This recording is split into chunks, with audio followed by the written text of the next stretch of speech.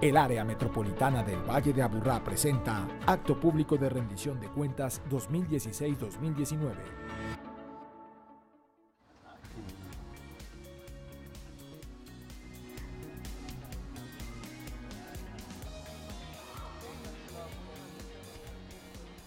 Entonces damos la bienvenida a todos y todas ustedes a este gran evento de rendición de cuentas del área metropolitana del Valle de Aburrá 2016-2019 y a nuestros alcaldes y alcaldesas que nos acompañan en representación de la Junta Metropolitana.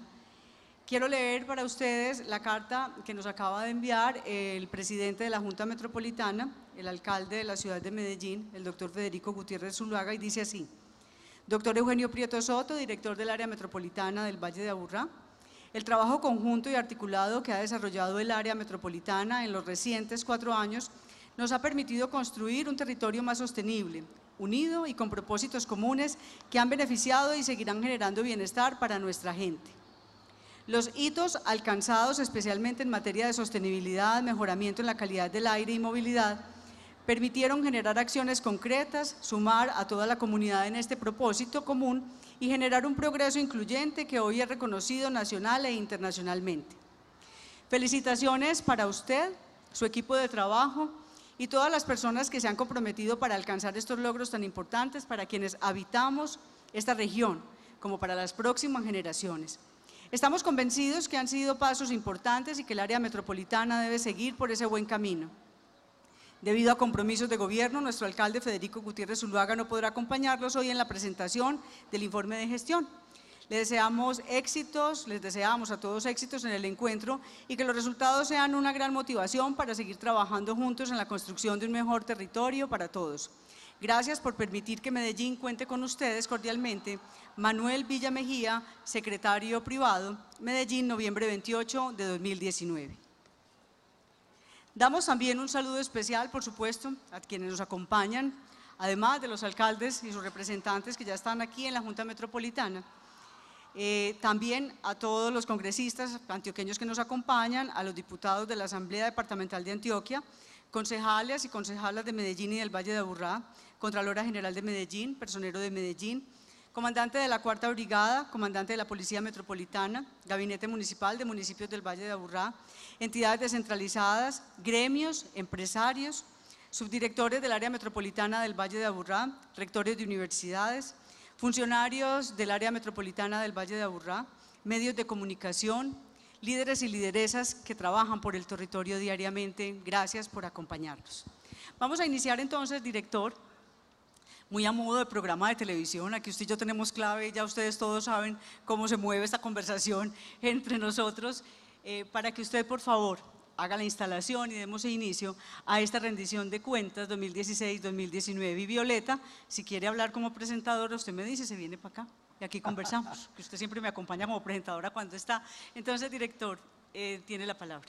Bueno, gracias Liliana, un saludo muy cordial para ti, a todos nuestros alcaldes, alcaldesas, a quienes representan hoy también a los alcaldes, a todos los que hoy nos eh, acompañan en este importante evento, autoridades civiles, autoridades militares, de policía, a nuestros equipos de los diferentes municipios, los funcionarios públicos y muy especialmente también a nuestro equipo del área metropolitana, a todos los eh, funcionarios del área, pero también a los contratistas, y a todas las personas que de una u otra forma se han vinculado con esta institución en estos ya casi cuatro años, a los rectores de las universidades, a la academia en general con quien hemos hecho un trabajo extraordinario. En fin, eh, yo creo que aquí sobraría dar un saludo, pero que ese saludo exprese la gratitud, el reconocimiento que tenemos, porque lo que hemos hecho en estos cuatro años fundamentalmente lo hemos hecho por lo que dice Liliana, lo hemos hecho juntos. Hemos hecho un trabajo de construir, de tejer trama y urdimbre en este territorio metropolitano. Así que me gustaría mucho aprovechar entonces la presencia de las alcaldesas, de los alcaldes y poder conversar con ellos como modo de introducción antes de que arranquemos ya con la rendición de cuentas en general, Liliana. Bueno, me faltó, qué pena, director, saludar de manera especial porque es que tenemos presidente de la provincia de Cartama aquí que nos acompaña. Ah, sí, Alexander. Y es que es muy grato, alcalde de Támesis, que nos acompañe, doctor Alexander Zuluaga, porque es que esa provincia de Cartama es clave para todo este ejercicio que estamos haciendo de trabajo conjunto entre los municipios. Gracias por acompañarnos. Ahorita vamos a hablar un poquito de los esquemas organizativos territoriales y hablaremos también de la importancia de las provincias administrativas y de planificación. Precisamente con Cartama, antes de terminar, aspiramos a dejar ya un convenio caminando entre el área metropolitana y la provincia eh, de planificación y administrativa de Cartama. Arranca. Arrancamos con las preguntas. ¿Quiere que las haga yo o las hago usted? avance Liliana y yo le voy complementando. Ah, listo. Entonces tenemos una pregunta para ustedes, eh, alcaldes y alcaldesas, y es, queremos saber de ese balance que hacen ustedes, cómo valoran, cómo fue la gestión de estos cuatro años en el trabajo conjunto entre ustedes y el área metropolitana del Valle de Aburrá. Me voy a ir entonces, yo tengo por aquí las palabras de la alcaldesa. ¿Quién comienza? A ver, a ver qué. Arrancábamos por aquí. la más osada, las mujeres primero, los caballeros. Eh, alcaldesa, arranque usted. Usted tiene ahí el micrófono, bien pueda. Buenas tardes para todos. Buenas tardes, director. Buenas tardes, amigos, alcaldes, área metropolitana y a todos los que nos acompañan hoy en este día tan especial. Eh, un agradecimiento al área metropolitana, una institución que ha estado siempre comprometida y articulada con los municipios en el sentido de, ayudarnos a planificar el territorio en avances de infraestructura y ambientales. Eh, me siento muy acompañada, nueve meses que llevo en, esta, en este cargo y en esta labor tan bonita que me encomendaron y que la he trabajado muy articulada con el área metropolitana. Una gran felicitaciones y de verdad que el área metropolitana ha sido una gran ayuda para nuestro territorio y un gran avance de nuestros municipios. Liliana, entonces sugiero que sigamos con el norte para que podamos hablar entonces ya de cada municipio, pero con el norte y después cogemos el sur, ¿están de acuerdo? Bueno, está la alcaldesa eh, de Bello que tiene hoy disfonía, no puede hablar. Y entonces ella me permitió escribir aquí sus palabras, su balance, alcaldesa, con su permiso, entonces lo voy a leer. Ella nos dice, resaltando los avances en el territorio sostenible, desde lo ambiental y la movilidad, fue extraordinaria eh, la visión del enfoque social en el concepto de hecho metropolitano de seguridad.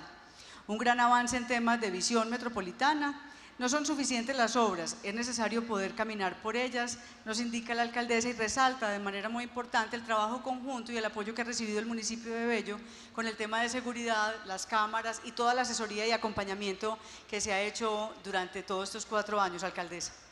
Bueno, muy bien, y enseguida vamos a tocar pues cada uno de los temas. A mí me llamó mucho la atención que hoy la Subdirección de Seguridad y Convivencia trajo el panel con las cámaras, cómo funcionan, cómo funcionan los centros de monitoreo y muchas de las personas que están asistiendo hoy van a poder mirar cómo estamos integrando el territorio metropolitano desde ese hecho metropolitano de seguridad y convivencia, pero aquí también están los eh, miembros de la Universidad de AFID, el equipo con el que hicimos el Plan Integral de Seguridad y Convivencia Metropolitano y precisamente la semana pasada entregamos la primera política pública de seguridad y convivencia metropolitana en el país. Bueno, sigue usted, doctor Vladimir, para que sigamos con el norte, con el municipio de Girardot.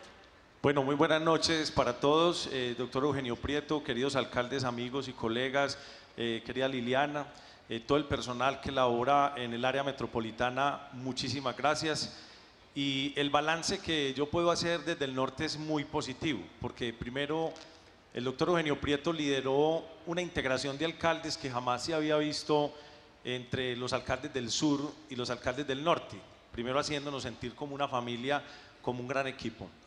Segundo, lograr la integración de Envigado al área metropolitana es muy positivo.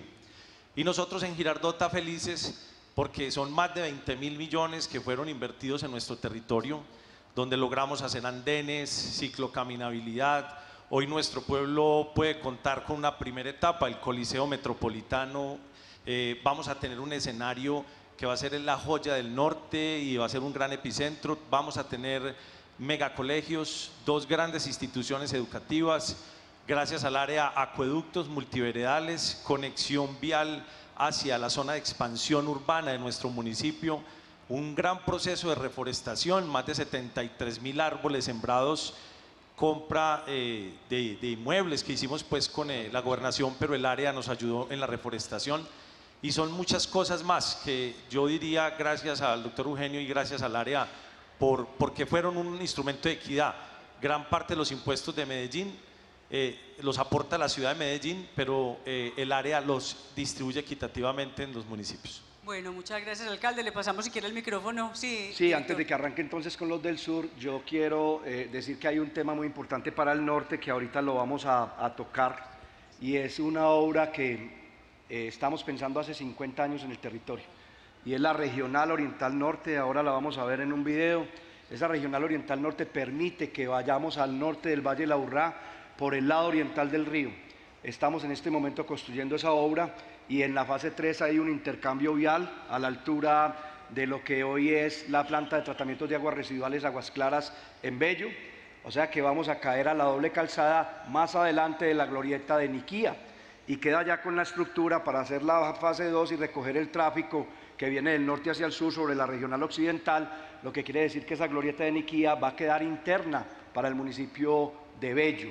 Y obviamente va a permitir que se descongestione el Valle de la Urrá, no solamente con los que vienen de Medellín o del sur del Valle de la Urrá, sino también del suroeste del departamento y suroccidente del país, que vaya hacia el norte, nordeste, Magdalena Medio del departamento de Antioquia y hacia el norte del país. Es una obra trascendental y en ella nos está acompañando, que hoy están por acá también, la conexión vial a Urrá Norte, que es la concesión que entregamos nosotros con el gobierno departamental y el área metropolitana, que hace un aporte importante y significativo para ese intercambio vial, que va a ser uno de los más importantes, y la propia gobernación de Antioquia, pues que está con nosotros eh, apalancando ese convenio tan importante para el norte. Yo creo que de las obras o proyectos de transformación de infraestructura física en un eje vial que es clave para el Valle de la Urrá, esta es una de las más importantes. Al solo municipio de Bello le va a despejar más de dos millones de metros cuadrados de espacio para desarrollar el municipio al lado de lo que hemos dicho la ciudad compacta. Bueno, siguiendo, si seguimos por orden alfabético, le toca en el sur. Arrancamos, alcalde de Itagüí, usted que está por allá armándome aquí el bochinche, que siempre me arma el desorden. Poderoso saludo, compañero León Mario. ¿ah? Alcalde, usted que siempre me coordina aquí, bien, le doy la palabra. Pues lo primero es unas buenas tardes para todos. Saludo especial para nuestro señor director, Eugenio Enrique Prieto Soto, gran amigo a las colegas alcaldesas, a los alcaldes, al delegado del municipio de Envigado, doctor Sergio, a todos los funcionarios del área metropolitana, a tantos amigos que durante cuatro años nos ayudaron para lograr tanta transformación. A ellos de verdad la gratitud eterna por la buena labor, por la gestión, por la disposición. Un equipo de trabajo increíble y los felicito porque de verdad las obras hablan por sí solas. También saludar al colega Alexander, me alegra verte por aquí, alcalde de Támesis, a los concejales de Medellín que también nos acompañan, a los demás amigos invitados, saludo bien especial. Pues de parte de Itagüí lo que podemos decir es lo que hemos repetido hasta el cansancio. Nos sentimos muy contentos de que todos unidos, 10 territorios integrados, hayamos logrado una transformación positiva del Valle de Aburrá. Ahorita Eugenio contará pues tantas cosas buenas que se lograron, pero en especial yo quiero resaltar que en la Junta del Área Metropolitana siempre hubo, además de una deliberación, una toma de decisiones en conjunto, siempre privilegiando el sentido común y las inversiones en favor de todas las comunidades. Por eso hoy siento que todos los municipios podemos decir que sentimos la compañía y que sentimos el apoyo en la gestión para lograr que nosotros pudiéramos resaltar. Hay muchas cosas bonitas para contar durante estos cuatro años, pues el encargado de decirlo será el doctor Eugenio, pero de parte de Itagüí, para todos y cada uno, es decirles mil gracias, sentimos el desarrollo de nuestro municipio y que nuestros ciudadanos hoy tienen una mejor calidad de vida gracias a que entre todos logramos con esta sinergia entre los alcaldes de tomar buenas decisiones para que la gente tenga una mejor calidad de vida. A todos una feliz tarde y mil gracias por la invitación, doctor Eugenio. Muchas gracias, doctor León Mario. Le doy la palabra entonces al doctor Iván Alonso Montoya Ruego, alcalde de Sabaneta. El gerente del país, ¿cómo es la cosa, alcalde? Yo vi una valla ahí viniendo de Amagay. De la educación. Ah, el gerente, la educación. En educación, educación. Bueno, ¿cómo están? Buena tarde para todos. Bueno, vea, antes de hablar, oiga, usted habló muy bien, este hombre es más empalagoso, pero aquí Eugenio. Yo creo que antes de arrancar, yo creo que los alcaldes y todos en nombre del área metropolitana y a estos señores que están aquí en la primera fila, todos del área metropolitana, vamos a darles un aplauso. Gracias. Este es, yo quiero aprovechar a Eugenio Aquí a los de blanco, pues, ¿cierto? Muchas gracias, sí. Eh, Liliana, no, la verdad, Eugenio ahorita todo lo que va a decir de las obras, él seguramente lo tiene muy bien preparado. Entonces, aprovecha estos minutos. Mire, uno tiene que aprender a dar gracias en nombre de Sabaneta, en nombre de los 10 municipios y de todo el que se ha podido pegar de aprender del área metropolitana, gracias. No solamente hemos estado en el área metropolitana, sino en Antioquia, en Colombia, y todo el equipo con Eugenio. Hablando aquí veía yo a los señores del CIATA, del área, María del Pilar, uno lo que ve es que hoy lo que hay alrededor del área metropolitana es experiencia, es trabajo y sobre todo mucho amor. Entonces yo quería como agradecer simplemente eso, decirles a Eugenio mi reconocimiento en nombre de Sabaneta. Sabaneta para mí es una alcaldía muy exitosa, pero no por el alcalde, sino porque hemos hecho equipo y ese equipo de Sabaneta con los del área hemos logrado hacer una transformación que esperaba Sabaneta. El éxito de Sabaneta, yo creo que el 90% se lo debe al área metropolitana por creer en nosotros en el tema de educación, en el tema de medio ambiente, en el tema de ciclocaminabilidad. Y uno empieza a mirar y dice, qué maravilla que todo el país aprendiera eso. Entonces simplemente es decir, hemos crecido en educación, en equidad, mucho en espacio público. El área metropolitana nos ha ayudado en entendimiento con todas las nuevas gerencias que creó allá, en el tema de seguridad, en el tema internacional y en emprendimiento. Entonces, mil gracias. Se merece lo mejor, doctor Eugenio. Cada que vaya a Sabaneta, allá con su equipo, hay obras por todos lados, por todo lo bueno que ha hecho. Gracias por tratarnos muy bien. Muchas gracias, alcalde. Y entonces paso a darle la palabra a nuestro delegado del municipio de Envigado, el doctor Sergio Ríos Ospina, secretario de Obras Públicas. Muy buenas noches para todos. Un saludo muy especial al doctor Eugenio, director del área metropolitana, a todos los alcaldes que nos acompañan eh, de la Junta del área metropolitana. Eh, solamente agradecimientos al equipo de profesionales del área metropolitana, al doctor Luis, a Víctor, a Viviana, a la doctora María del Pilar, porque realmente hicimos equipo y el municipio de Itagüí que compartimos tantas reuniones juntos y podemos lograr proyectos tan importantes como el intercambio de la calle 25 Sur. Sin ese equipo, eh, sin ese trabajo en equipo no hubiera sido posible. De verdad, muchísimas gracias a ustedes, compañeros, porque nos sentimos parte del área y parte de un equipo. Agradecer también a toda la Junta Metropolitana. Envigado es el municipio más nuevo y nos consintieron mucho. Nos ayudaron muchísimo, alcaldes, de verdad, muchas gracias porque entrar y con tantas obras y con tantas cosas positivas para el municipio, de verdad que nos llena de satisfacción. Pudimos cumplir muchas obras que no teníamos en el plan de desarrollo, obras como otra parte, una, que también pudimos hacerlo con la gobernación de Antioquia, o sea, el área metropolitana nos permitió sumar fuerzas eh, con muchas entidades para lograr grandes proyectos. Eh, no voy a hablar mucho de las obras porque sé que el doctor Eugenio las va a presentar.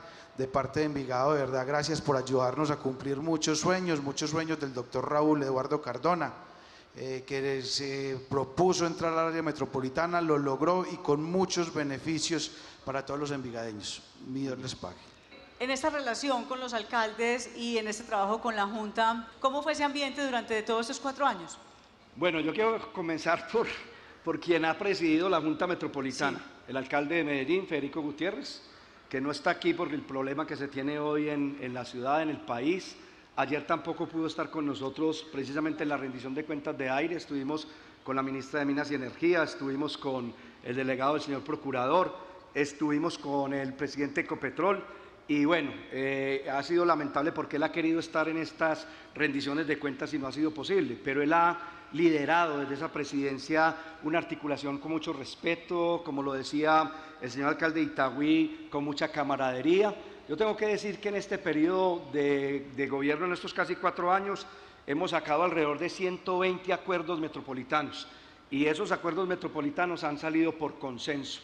Es decir, ha sido muy importante. Hay veces que nos hemos demorado dos o tres juntas para sacar un acuerdo metropolitano, pero los hemos sacado por consenso y eso muestra mucho la capacidad de integrar y de articular. Y una relación que al principio pudo haber comenzado un poco tensa con algunos municipios, pero que gradualmente se fue mostrando tres retos que trazaron ellos inicialmente, que las obras y los proyectos fueran verdaderamente metropolitanos, que cuando invirtiéramos en los municipios lo hiciéramos en equilibrio y en equidad y que trabajáramos desde que arrancáramos por integrar al municipio de Envigado, que era el municipio 10 que le hacía falta a la consolidación del modelo del territorio.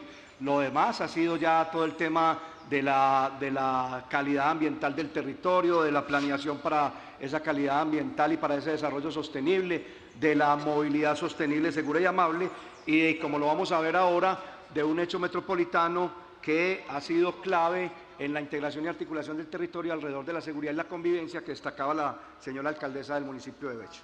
Bueno, muy bien, entonces con este balance que ustedes nos han ayudado a hacer, eh, alcaldes, alcaldesas. Antes de que los despache, yo también quisiera hacer lo inverso que hizo el señor alcalde de Sabaneta. La gobernanza en el Valle de la Urra ha comenzado desde esta Junta Metropolitana, desde la capacidad que ella ha tenido precisamente de que integremos no solamente lo público, sino la institucionalidad pública, privada, la academia, la ciudadanía, que ha colocado sobre la mesa de esta Junta Metropolitana la evidencia, el conocimiento científico y que ha permitido desde esa gestión, que yo lo digo con todo respeto, pero también con profunda gratitud como ciudadano, ha sido una gestión donde se ha visto la debida diligencia en pro de este territorio integrado. Entonces yo pediría para despedir a estos alcaldes y estas alcaldesas un gran y muy fuerte aplauso.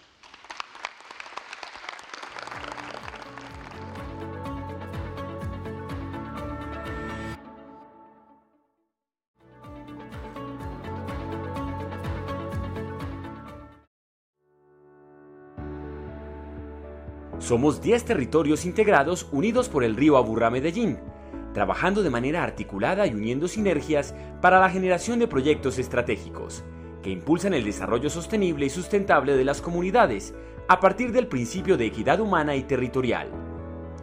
Como esquema asociativo territorial, lideramos procesos regionales sólidos a partir de la gobernanza, donde el diálogo es el centro para la articulación de la solución gestionamos el cuidado de la calidad ambiental y la conservación de los ecosistemas. Desarrollamos estrategias de movilidad sostenible, segura, amable e incluyente. Generamos propuestas integrales de planificación territorial sostenible. Ejecutamos obras y proyectos de interés metropolitano. Propiciamos alianzas de cooperación nacional e internacional. Articulamos acciones que promuevan la seguridad y la convivencia en el territorio y promovemos la comunicación pública y la movilización social. En este periodo de gestión, logramos que el 10 de julio de 2016, por medio de una consulta popular, los envigadeños eligieran ser parte del área metropolitana del Valle de Aburrá y finalmente ser 10 territorios integrados. Fomentamos un liderazgo colectivo. Por eso, contamos con una junta metropolitana conformada por los 10 alcaldes del Valle de Aburrá, esto permite sumar esfuerzos para crecer de una manera articulada y equitativa. Declaramos en el 2016 la seguridad, la convivencia y la paz del territorio como un hecho metropolitano. Gestionamos y coordinamos el mejoramiento de la infraestructura tecnológica de los circuitos cerrados de televisión, cámaras de seguridad. Se creó el Consejo Metropolitano de Seguridad y Convivencia, como órgano asesor de las autoridades administrativas del Valle de Aburrá. Con EAFIT formulamos la Política Pública Metropolitana de Seguridad y Convivencia Ciudadana. Además, lideramos la Gran Unión Metropolitana por nuestra niñez, para consolidar un territorio libre de explotación sexual y comercial de niños, niñas y adolescentes. Creamos 17 alianzas internacionales con actores estratégicos que han contribuido con recursos de cooperación técnica o financiera para el Plan de Desarrollo Metropolitano fuimos elegidos como la entidad coordinadora de la sede en Colombia de ICLEI, una red que tiene presencia en más de 1.500 ciudades y es líder en el mundo en materia de sustentabilidad. La academia ha sido un aliado fundamental en la construcción de este modelo de gobernanza. Por eso creamos la Escuela de Ecología Urbana, una estrategia para convertir el territorio en un aula abierta para el conocimiento, el diálogo, la participación ciudadana y el intercambio de experiencias en torno al desarrollo sostenible. Lanzamos Territorios Integrados Inteligentes, una estrategia que tiene como base la generación, uso y acceso de la información, la tecnología y el conocimiento para que los ciudadanos se sirvan de estas como parte activa de la construcción de territorios. En el marco de esta estrategia, lanzamos un portal de datos abiertos, un observatorio metropolitano de información, el renovado portal web de la entidad una aplicación llamada Área 24/7, trámites en línea y reporte Área 24/7. Es clave entender que las metrópolis hoy son la alternativa hacia la solución de muchos de los retos y problemas que enfrentan las ciudades. Las ciudades por sí solas no son sostenibles, ni son inteligentes, ni sustentables. Los territorios sí, porque integran lo urbano, lo rural, lo regional y los ecosistemas. Por eso, Hoy somos más gobernanza, más área. Aquí están nuestros ejes misionales, una planeación que la partimos en el verbo, plan y acción, porque hemos hecho muchos planes, pero a veces se quedan guardados en los anaqueles, en las bibliotecas, no llegan a donde tienen que llegar y hay que establecer indicadores que permitan ejecutarlo, que la parte ambiental tuviera muy claro que era la calidad ambiental del territorio metropolitano y para eso qué bueno que esté aquí nuestra autoridad ambiental en el resto del territorio porque hemos articulado ese territorio. Nosotros no somos el ombligo del mundo y tenemos que comprendernos en un modelo sistémico y multiescalar. La movilidad sostenible, segura y amable, este es uno de los retos también mayores y vamos a ver cómo eh, logramos llevar a los municipios en sus planes de desarrollo la pirámide invertida y qué hemos hecho alrededor de esa pirámide invertida y por qué hablamos de movilidad sostenible, segura y amable. Y los hechos metropolitanos eh, le permiten a los alcaldes tomar decisiones sobre temas que van más allá de lo que le ha entregado eh, las normas y la ley orgánica. En este orden de ideas se creó este hecho metropolitano que hoy es modelo en Colombia y que vamos a hablar también de él, que es seguridad y convivencia. Primer punto que digo ahí, nosotros no tomamos decisiones en materia de seguridad, nosotros acompañamos en la articulación de esfuerzos y de sinergias a los municipios. Y creamos, con, cuando creamos seguridad y convivencia, gestión y cooperación. Había que poner el área metropolitana a conversar con el mundo. Nosotros somos, Liliana, fundadores también con Medellín de la ASI, que es la Agencia de Cooperación Internacional eh, de Medellín y el área metropolitana. Y la ASI lleva 15 años, ya casi 16, haciendo un trabajo extraordinario para conectar al mundo con Medellín y a Medellín con el mundo. Pero faltaba esa conexión con el área metropolitana y que el área metropolitana también conversara con el mundo. Eh, logramos la creación de esta área y vamos a ver, como lo estuvimos viendo ahí, qué hemos hecho. Y un eje de comunicación pública que es transversal a todas esas áreas donde colocamos no solamente una información vertical que le llegue al ciudadano desde lo que nosotros producimos, sino que haya un diálogo. Ese diálogo es el que nos ha permitido desarrollar ese modelo de gobernanza y no solamente la institucionalidad pública, sino también la privada. Esa es la nueva área, eso es lo que nos aprobó nuestra Junta en nuestro plan de gestión. Y cuando comenzamos a hacer todo el plan, dijimos, bueno, ¿y cuál es el macroproblema? Es ambiental, es de movilidad, es de planeación, de qué es el macroproblema y definimos que era la baja articulación e integración de lo público, lo privado, la institucionalidad eh, para lograr ese desarrollo sostenible. Y cada una de estas áreas va en búsqueda de esa articulación del territorio. Eh, comenzamos con uno de los problemas. Si ustedes miran ese mapa, ese mapa tiene una ficha en naranja que es precisamente el municipio de Envigado. Y entonces dijimos, oiga, somos 10 municipios en el Valle de la Urrá, pero solo 9 en el área metropolitana y comenzamos a decir queremos ser 10, porque es que esa ficha hace bastante falta. Este es un rompecabezas, aquí está Medellín y aquí hay muchos temas que no se habían podido desarrollar porque la planificación no permitía que Envigado estuviera. Nos propusimos entrar a Envigado y el 10 de julio del 2016 Envigado comenzó a ser parte del territorio del área metropolitana del Valle de la Urrá y ha sido muy importante porque gran parte de las obras, como lo vamos a ver ahora, que estamos desarrollando, pues son obras que se han constituido en el municipio de Envigado. Ahorita estábamos hablando con la Junta Metropolitana, la gobernanza parte desde ahí, de cómo eh, integramos ese territorio, que supuestamente son 10 municipios aparte, pero que todos estamos integrados en ese territorio y sin duda alguna parte de la Junta. Y hemos dicho que uno de los objetivos fundamentales para nosotros es el objetivo 17 el objetivo 17 son las alianzas. Sin alianzas no hay forma de desarrollar los otros objetivos. Nosotros tenemos como clave la realización de esas alianzas y por eso hay que anteponer los intereses particulares, bajarse de los egos personales e institucionales y tejer alianzas y lo que hemos dicho, trama y urdimbre en el territorio. Y obviamente que ahí están todos los otros temas nacionales, internacionales, eh, el propio tema de ciudades sostenibles donde trabajamos, tema de la OCDE. Estamos trabajando directamente con estos objetivos del desarrollo sostenible, el 3, el 4, el 6, el 8, el 9, el 11, el 12, el 13, el 15, el 16 y obviamente el 17. Pero con otros también de una u otra forma tenemos que ver, simplemente que esto lo estamos tocando de forma directa. Y llegamos al tema de la planificación del territorio. Dijimos, bueno, ¿qué es lo que está pasando en el territorio? Los planes de ordenamiento territorial y los planes de desarrollo tienen unos instrumentos que para nosotros están quedando un poco retrasados. Y en ese orden de ideas construimos con EAFID un proceso que traía Envigado de capacidad de soporte que permitiera mirar la salud y la resiliencia de los ecosistemas, la disponibilidad de los recursos y las habilidades nuestras de sociedad para el desarrollo. En el centro, en la intersección, la capacidad de soporte. Sobre ese parámetro que el territorio también tiene unos límites en su crecimiento. Y hablamos desde ese ejercicio, desde este barril de Liebig, que muchas veces nos ponemos a subir estas duelas, que ya no las necesitamos subir y descuidamos estas otras. Y por ahí se desarrolla la capacidad o se va derramando la integralidad de los sistemas. Bajo ese parámetro entonces estamos buscando la integralidad de los sistemas. Y hemos llevado este mapa a todo el territorio para sustentar esa afirmación que estamos haciendo.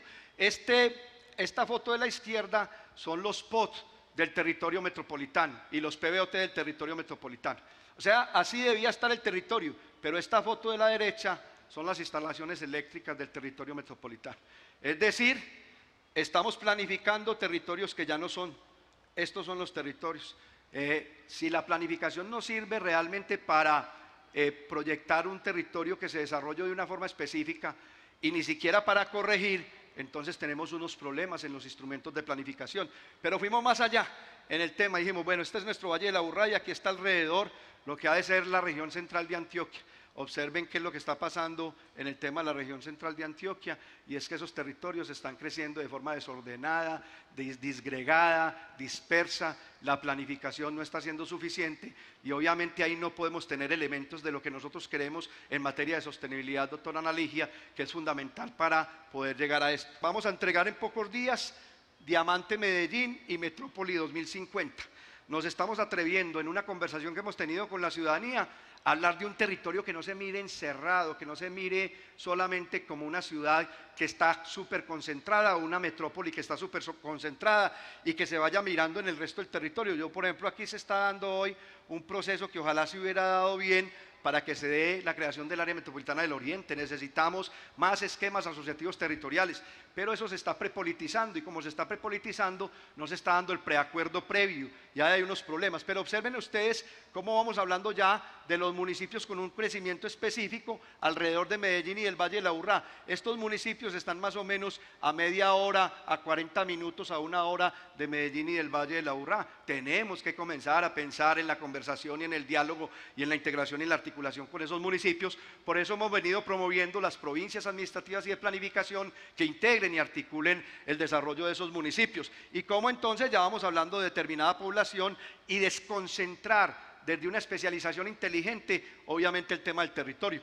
Ahí vienen ustedes, por ejemplo, aquí el oriente, cómo se va desarrollando la importancia para nosotros de ese oriente, para ese Medellín. Observen el suroeste, cómo va a estar aquí Bolombolo clave y se va conformando lo que nosotros llamamos el gran anillo del territorio. ¿Con quién conversa Medellín y el Valle de la Burra en lo internacional? No podemos mirar hoy solamente el territorio desde lo local y desde lo regional, incluso no solamente desde lo nacional, sino que hoy el tema es mundial y obviamente comenzar a mirar ese territorio con estrategias ambientales de conservación, corredores ecológicos, bosques, áreas prioritarias de reforestación, espacios de vocación agraria y ecosistemas costeros, con esa zona urbana, cómo se van integrando el aeropuerto, los sistemas logísticos, etcétera.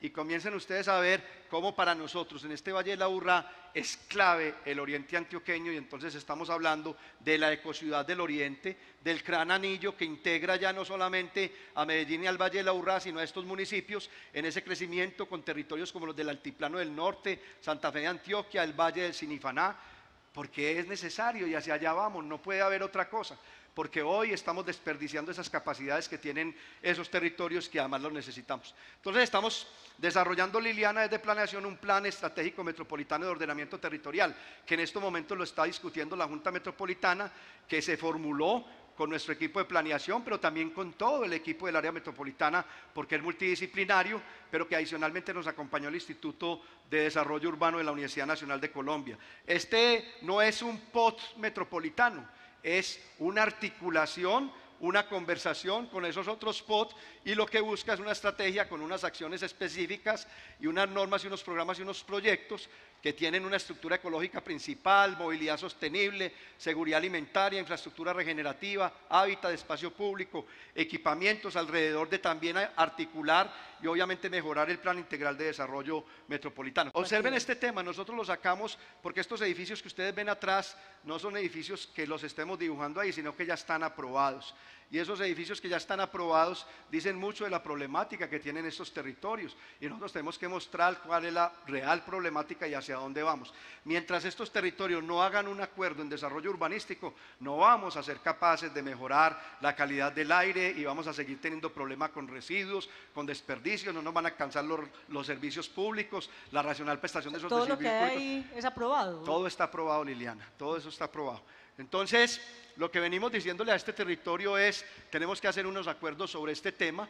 Hemos venido conversando con el gobierno nacional para poder hablar de otras figuras que nos permitan integrar estos procesos y obviamente esto tiene mucho que ver en el PEMOD estamos tratando de que se hagan unos acuerdos mínimos de altura, de índices, de usos del suelo que realmente sean metropolitanos y que los hagan ellos en las, en las alcaldías y obviamente con los consejos municipales. Estamos trabajando mucho por la figura del catastro multipropósito, pero también hoy de ser gestores catastrales que le permitiría al territorio metropolitano ser un poco más moderno. Y entramos ya aquí a buscar cómo también trabajamos temas de formación en emprendimiento tenemos un tema de emprendimiento sostenible metropolitano que se está distinguiendo desde la sostenibilidad y desde lo que están haciendo en liderazgo, en creatividad. Aquí hay un tema muy bonito porque lo hacemos con un aliado estratégico que se llama Créame y esto ha venido llegando a los colegios, ha venido llegando a las diferentes empresas a través de estas líneas de intervención, gestión integral de residuos, por aquí ahora al doctor Aníbal, calidad del aire, prevención y control de la contaminación,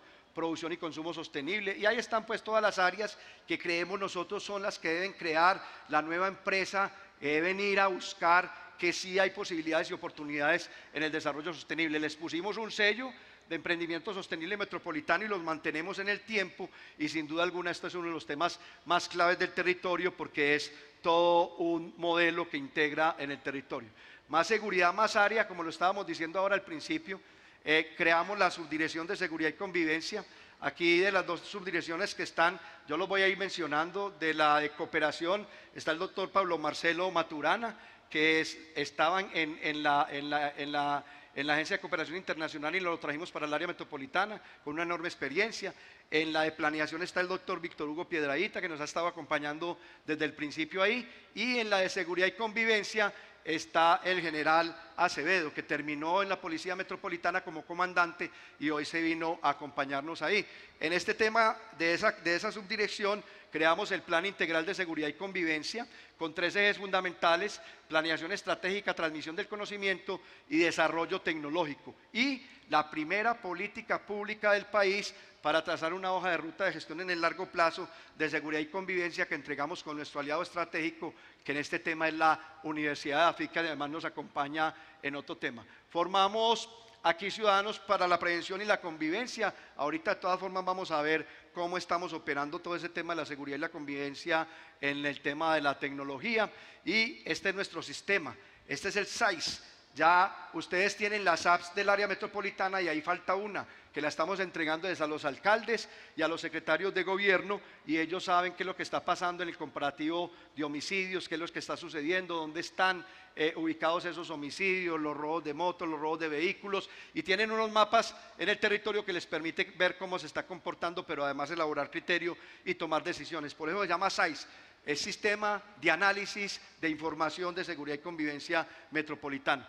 Instalamos ya 246 cámaras eh, y cuatro cámaras de reconocimiento facial, cámaras de monitoreo y cámaras LPR de lectura de placa en todo el territorio. Hemos adecuado cuatro centros de monitoreo.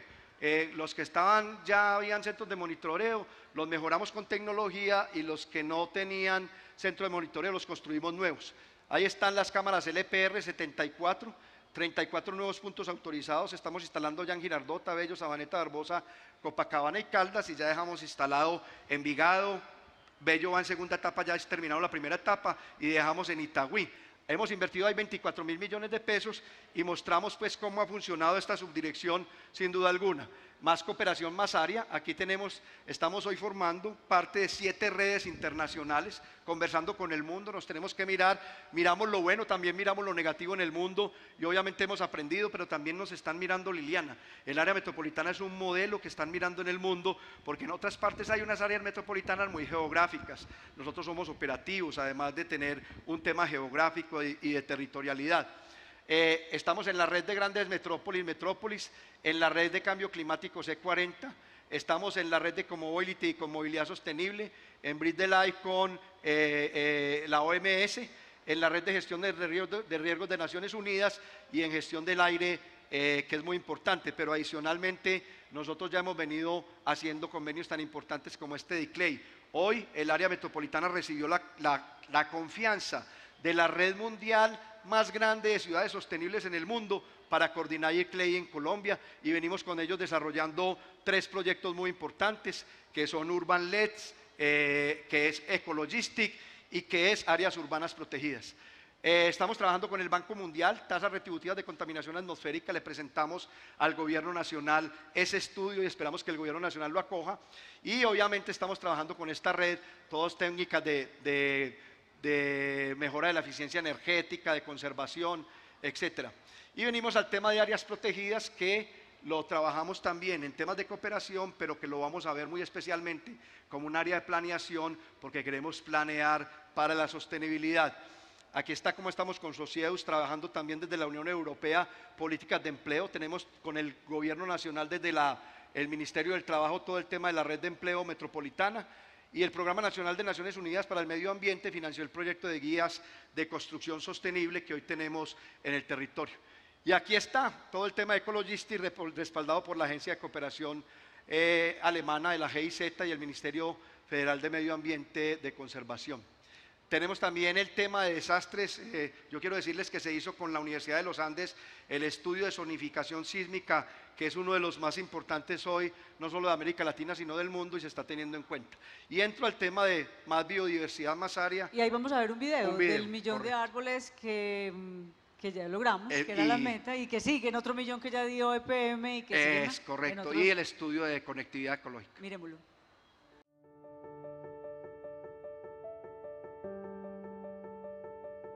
¿Te imaginas un valle de Aburrá con más árboles, con más corredores ecológicos donde la fauna pueda transitar libremente? Nosotros soñamos con ese valle y trabajamos unidos para lograrlo. Con nuestro plan Siembra Aburrá, la meta era plantar 300.000 árboles en cuatro años, pero gracias al compromiso de todos, superamos la meta sembrando más de un millón de árboles en zonas urbanas, periurbanas y rurales.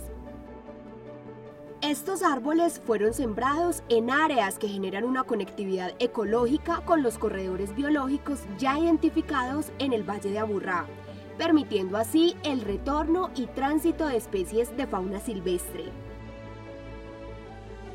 Muchos se sembraron en retiros de quebradas, áreas protegidas y cuencas priorizadas en nuestro plan Quebradas para conservar el equilibrio de los ecosistemas.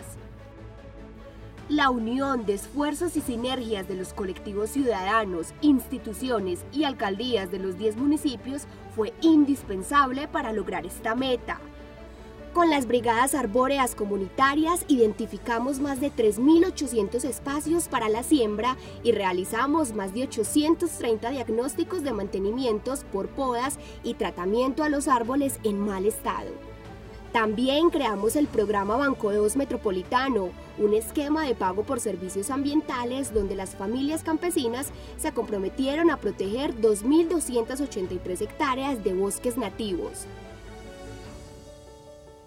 Declaramos dos áreas protegidas, Humedal El Trianón La Leodora en Envigado y Humedal Ditaires en Itagüí. Protegemos y preservamos cuatro áreas protegidas ya existentes, Cerro El Volador, Cerro La Somadera, Cerro Nutivar en Medellín y Piamonte en Bello. Y estamos en ruta declaratoria del Cerro Quitasol en Bello. Conservamos en total 221 hectáreas de áreas protegidas en espacios urbanos, Con la declaratoria del Cerro Quitasol, el Cerro Tutelar en Envigado, el Club El Rodeo y el Cerro de las Tres Cruces en Medellín, sumaremos más de 400 nuevas hectáreas de áreas protegidas, lo que significa triplicar el número de hectáreas ya declaradas. Los árboles son indispensables para la sostenibilidad del territorio, mejoran la calidad del aire, generan microclimas, son el hábitat y el alimento de la fauna silvestre. Un millón de árboles es más vida para el Valle de Aburrá. Más biodiversidad, más área. Ese tema surgió, Liliana, cuando comenzamos a, revisar lo que dice la ciudadanía. Venga, ¿dónde están los árboles de reposición? Y cuando comenzamos a mirar árboles de reposición, nos debían alrededor de 100.000 árboles entre lo público y lo privado. Y comenzamos entonces con la Universidad Nacional de Colombia a hacer un seguimiento, quiénes nos debían esos árboles y hablar de un planteamiento. Había que modificar el, paradigma. Y, y, les dijimos, vamos a partir de un acuerdo y lo construimos juntos. Si hay espacio para construir, hay espacio para sembrar. Sembramos los 100.000 árboles nativos, trabajamos con los viveros, pero antes de sembrar Liliana hicimos una estrategia de conservación en el territorio, de buscar cuáles eran las especies endémicas, dónde teníamos que mejorar, etcétera, y trabajamos con un equipo extraordinario en lo urbano y en lo periurbano, que es muy importante también hablar de lo periurbano, que es esa frontera entre lo urbano y lo rural. Bueno, y lo hicimos también que EPM ya nos premió, aquí está Sandra que viene a representar a EPM y nos acaba de entregar un nuevo millón de árboles para el área metropolitana del Valle de la Ura, es una cosa extraordinaria. Para que los cultivemos en sus viveros, para que de acuerdo a esa temperatura, ese clima, esas especificaciones que hay en los viveros de EPM, cultivemos los árboles que vamos a sembrar en este periodo en el Valle de la Urra, o sea, otro nuevo millón de árboles. Pero además no hemos parado. Aquí vamos el domingo, aquí está Analigia, vamos a ir a sembrar en la base del Cerro Quitasol porque vamos a presentar cómo estamos avanzando con la declaratoria del Quitasol. Y el sábado vamos a sembrar enseguida, le cuento, hombre, mire cómo cambia el territorio. Esto es en la Romera, en Sabaneta, y mire cómo vamos sembrando, inmediatamente el territorio comienza a transformarse estos bosques venían quedándose como en una especie de monocultivo porque se sacaban todos los maderables precisamente para el crecimiento urbano y se van modificando. Esto es en Copacabana, obsérvese cómo el territorio va cambiando y va adquiriendo ya unas condiciones diferentes. Y aquí están donde sembramos todos los árboles. Los ciudadanos pueden entrar a nuestra página web y obviamente hacerle un seguimiento a esos árboles. ¿Qué árboles sembramos? Por ejemplo, este cauce que estaba en vía o está en vía de extinción lo sembramos en Sabaneta cuando sembramos el árbol 500 mil y obviamente estamos sembrando diferentes especies, el gualanday que mide alrededor de 25 metros de altura, de una belleza extraordinaria. ¿Y cómo vamos haciendo con estas especies lo que hemos llamado bancos de biodiversidad en el territorio, que nos permite que las, eh, la bifauna, que los mamíferos, que los reptiles, las mariposas, los insectos vengan y ellos mismos vayan expandiendo por el territorio ese bosque? Y habla de las, de las áreas protegidas urbanas, porque ahí se mencionó muy bien en el video que encontramos cuatro, que miden más o menos 200 hectáreas. Declaramos dos nuevas, Trianón eh, y La Liodora en Envigado y Ditaires en Itagüí.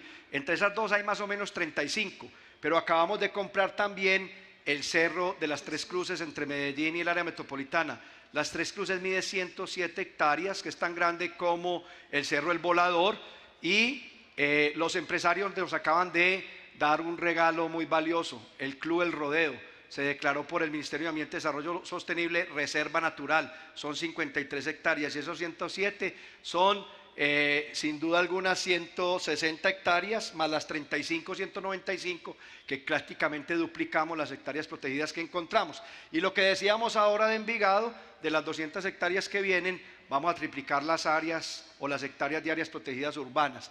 Pero todo esto va también con una red ecológica que está alrededor del territorio, es donde quiero hacer la pausa hoy. Ahí está nuestra página, quien quiera mirar dónde están los árboles sembrados y cómo están, puede entrar tranquilamente y mirar esos polígonos, pero además estamos ampliando el SAU, que es el sistema de arbolado urbano que tiene Medellín, que lo estamos ampliando precisamente con un convenio con el Jardín Botánico para llevarlo a todo el territorio metropolitano y el ciudadano pueda hacerle seguimiento a los árboles cuándo se tala, cuándo se mejora, cuándo se, se, le hace algún tratamiento y dónde estamos sembrando árboles nuevos. Ahí están donde quedan esos árboles y cada uno puede hacerle ese seguimiento. Valoramos mucho esto que está haciendo Medellín con los corredores verdes, que además ha recibido premios internacionales porque termina conectando con todo ese modelo del que estamos hablando en el territorio, que es este. Así es como quedará entonces el territorio que estamos entregando en áreas urbanas protegidas, pero también en la conectividad ecológica. ¿Por qué, Liliana? Porque estamos entregando este estudio de conectividad, que es la gran sorpresa. La gran sorpresa para cerrar todo este tema es este estudio de conectividad, que para no cometer errores voy a leer un poquito, porque lo vamos a entregar ahora en diciembre. O sea, estoy chiviando aquí a Carolina y a todo el equipo de comunicaciones. Más de 360 puntos de muestreo de faunas, de fauna, aves, mamíferos y herpetos en todo el territorio metropolitano, siendo el inventario con levantamiento de información primaria más completo del país. Estos datos alimentarán el sistema de información biológica SIP del Humboldt a nivel nacional. Levantamiento de todas las zonas verdes del área metropolitana. Recuerden que nosotros le pedíamos a los empresarios que nos hicieran el estudio de conectividad y ahí ya teníamos un problema. Pues con Medellín y el, área metropolitana decidimos hacer este estudio en todo el territorio. A una escala muy detallada, a partir de 4 eh, metros cuadrados para Medellín y de 20 metros cuadrados para el resto de municipios, teniendo así el inventario de zonas verdes más completo y detallado que se tenga a nivel urbano con su respectiva caracterización y estimación de número de árboles en cada área del inventario. Discúlpenme que haya leído, pero esto tan importante no se podía quedar así simplemente con la memoria. y tenemos el tema del plan quebradas, que la alianza con las corporaciones autónomas ha sido muy valiosa porque las quebradas nacen por lo general en lo rural y nos integran en la parte media y en la parte baja, pues obviamente, y en la parte media hacemos un trabajo y eso está dando un trabajo hermosísimo, sobre todo desde el punto de vista también de gobernanza en el territorio con los actores de ese plan quebradas. Yo le tengo que decir una cosa, a mí me impactó mucho, comenzando la gestión en el área, que nos fuimos a sembrar unos árboles a uno de los municipios de aquí del Valle de la Urrá, al lado de una quebrada, y lo que primero encontramos fue unos colchones y un juego de sala completo, al lado de la quebrada. Eso no tiene, no tiene presentación, precisamente porque todo el mundo piensa que hay que tirar toda la quebrada. Hay que tener cultura de cuidado y protección de las quebradas porque ahí se presentan problemas hidráulicos, problemas hidrológicos muy complejos. Y esto viene dándole al territorio un tema muy importante con las empresas públicas de Medellín, ahora que termina la PETAR de Aguas Claras y la PETAR de San Fernando, porque nosotros comenzamos con ellos a cuidar todo el tema. Y ahí vamos a ver un video de fauna silvestre, de todo el trabajo que se ha hecho por lograr que el Valle de Aburrá tenga, sea libre de fauna silvestre en cautiverio. Veamos. Correcto.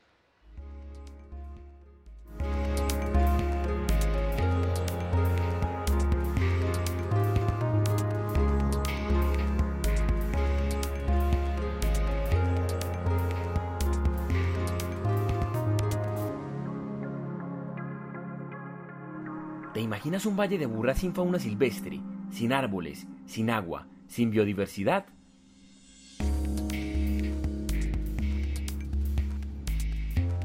Más del 80% de los animales víctimas de tráfico ilegal de fauna mueren en ese proceso, y de los pocos que logran sobrevivir, la mayoría sufren traumas irreparables.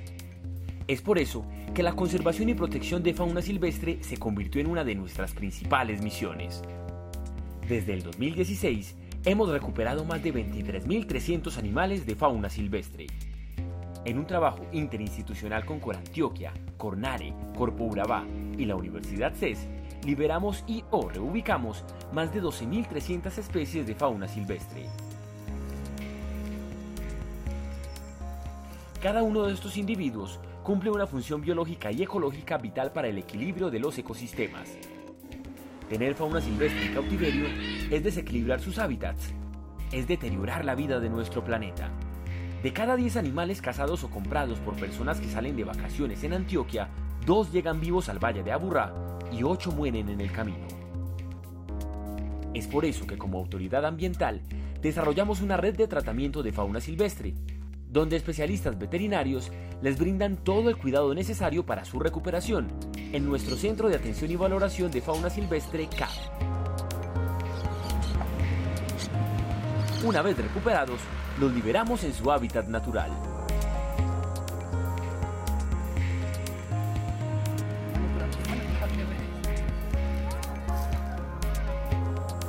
Hemos hecho un gran esfuerzo por concienciar a la ciudadanía acerca del daño causado a los animales. No compres, no transportes, no tengas fauna silvestre en cautiverio. Denuncia el tráfico ilegal de fauna silvestre.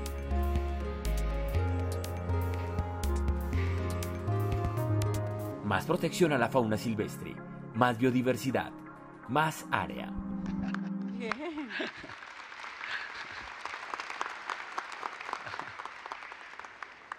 Bueno, esta es de las cosas más bellas que, que, se están haciendo. Yo creo que tenemos que hablar poco. Gratitud a los aliados estratégicos, lo que venimos haciendo con Corantioquia, con la Universidad de Antioquia, con el CES. Eh, cuando uno vaya hacia una liberación es como si liberara también un poco el espíritu. Y estar logrando territorios libres de fauna silvestre en cautiverio.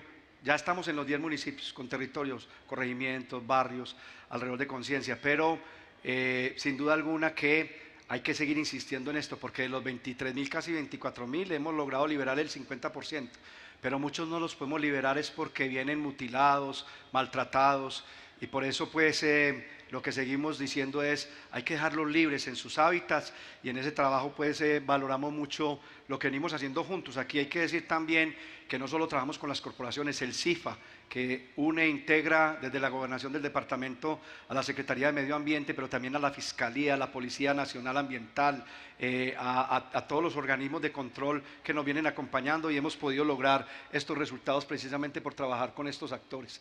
Este es como nosotros vamos y liberamos, estos son nuestros equipos, nuestro equipo técnico, nuestros vehículos que hacen esos recorridos en el territorio y aquí sí, ya como nosotros eh, hemos venido trabajando con, bienestar animal. Si quiere, colocamos la, el, video. de bienestar animal.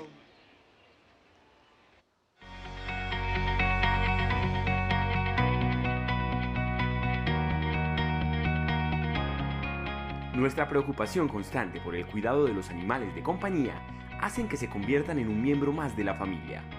Por esta razón, declaramos en el 2016 el bienestar animal como un hecho metropolitano nos comprometimos a desarrollar estrategias para mitigar la problemática del maltrato a los animales y a considerar como tema prioritario esta política pública de bienestar animal para su protección como seres sintientes. Nos articulamos con las administraciones municipales y recorrimos todo el Valle de Aburrá, realizando jornadas gratuitas de esterilización de caninos y felinos. Superamos nuestra meta inicial de realizar 52.000 esterilizaciones en cuatro años, logrando un total de más de 70.000 cirugías. La esterilización de animales de compañía evita su reproducción descontrolada. Es una medida eficaz para disminuir la cantidad de perros y gatos abandonados en las calles. Otro de los grandes logros en esta materia es la sustitución de los vehículos de tracción animal. Con este programa mejoramos la calidad de vida de las familias propietarias de los vehículos de tracción animal, al permitirles continuar con sus actividades de acarreo y reciclaje, pero utilizando vehículos de tracción mecánica.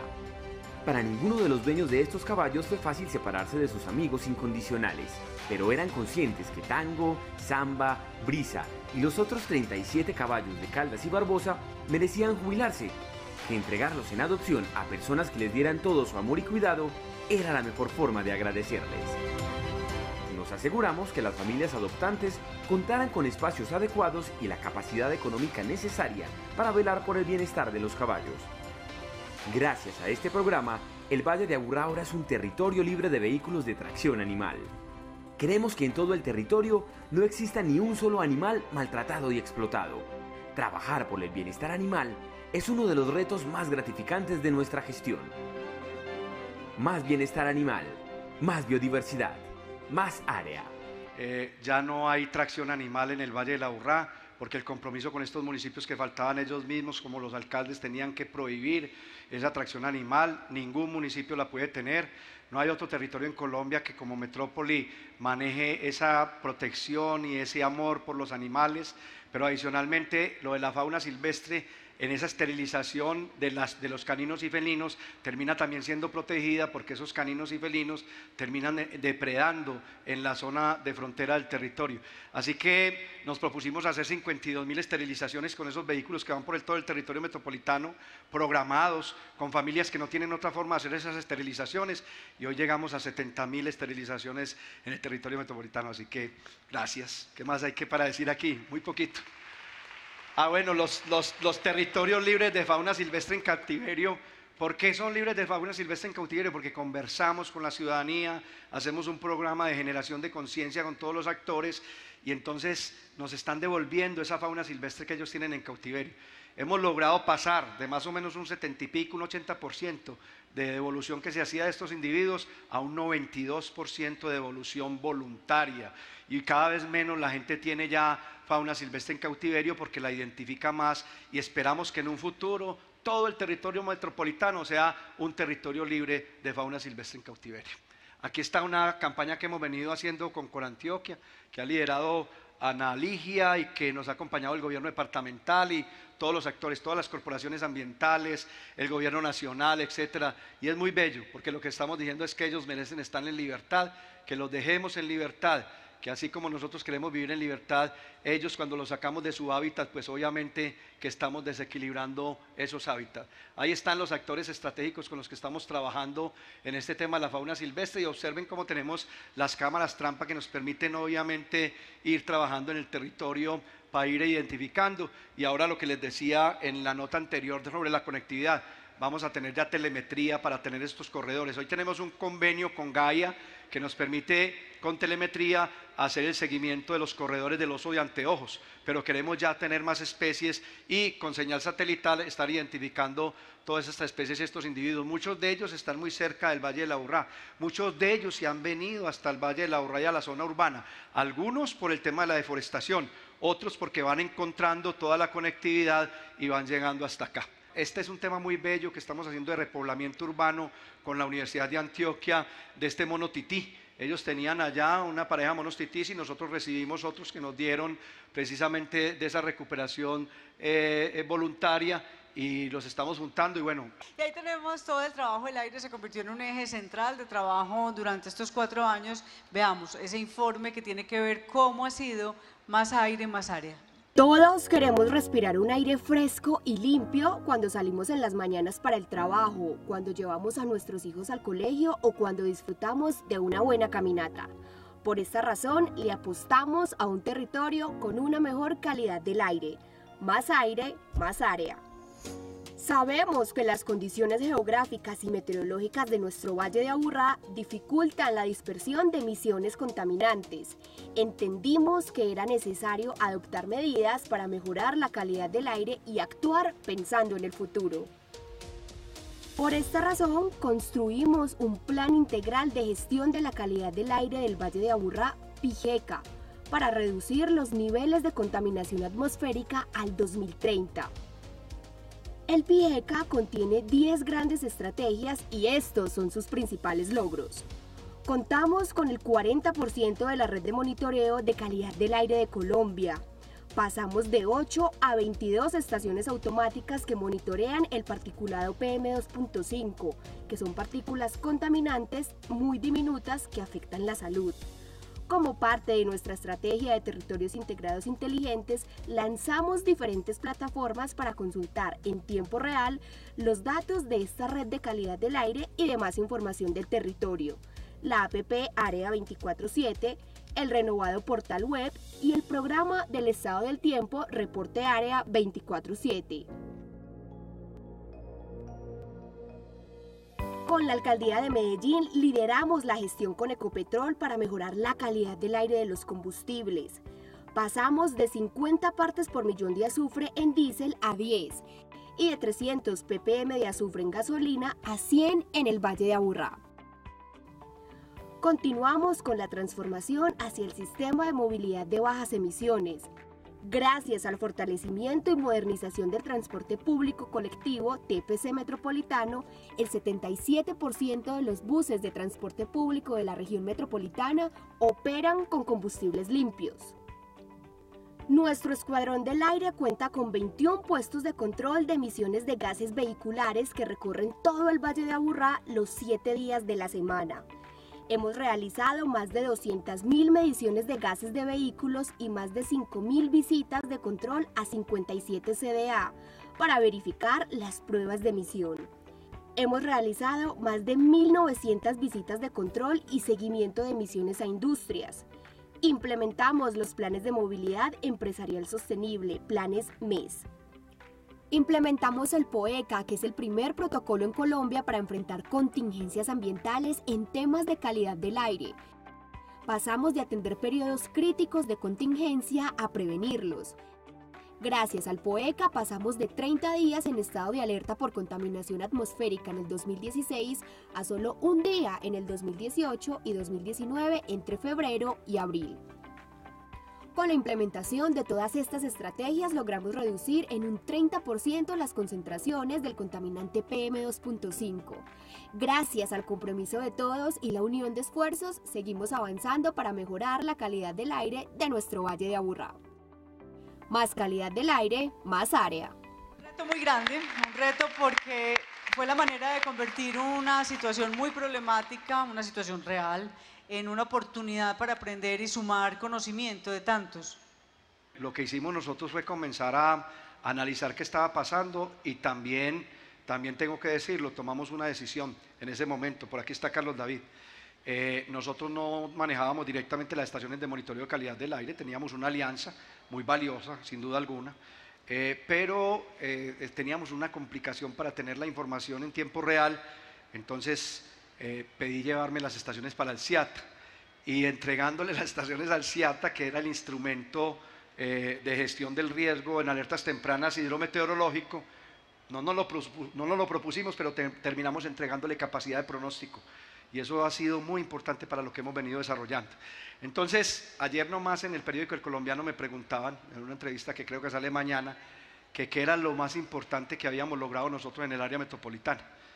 Y, sin duda alguna uno de los hechos claves, como lo dijimos ahora, es el de Envigado. Pero yo le dije dejar el modelo sistémico de calidad del aire, porque es una política pública que ya le queda al territorio y como lo vamos a demostrar, si hacemos las cosas bien, terminamos salvando vidas. Si no hacemos las cosas bien, terminamos nosotros permitiendo que se pierdan años vida en este territorio.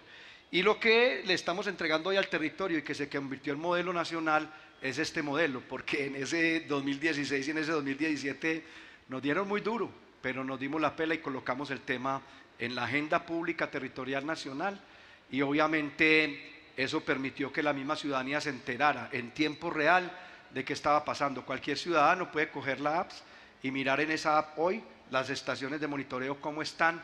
En un segundo le dice las apps cómo están y lo que ve el ciudadano en esas apps es lo que ve el alcalde de Medellín, es lo que ve el alcalde de Itagüí. O lo derecho a la información.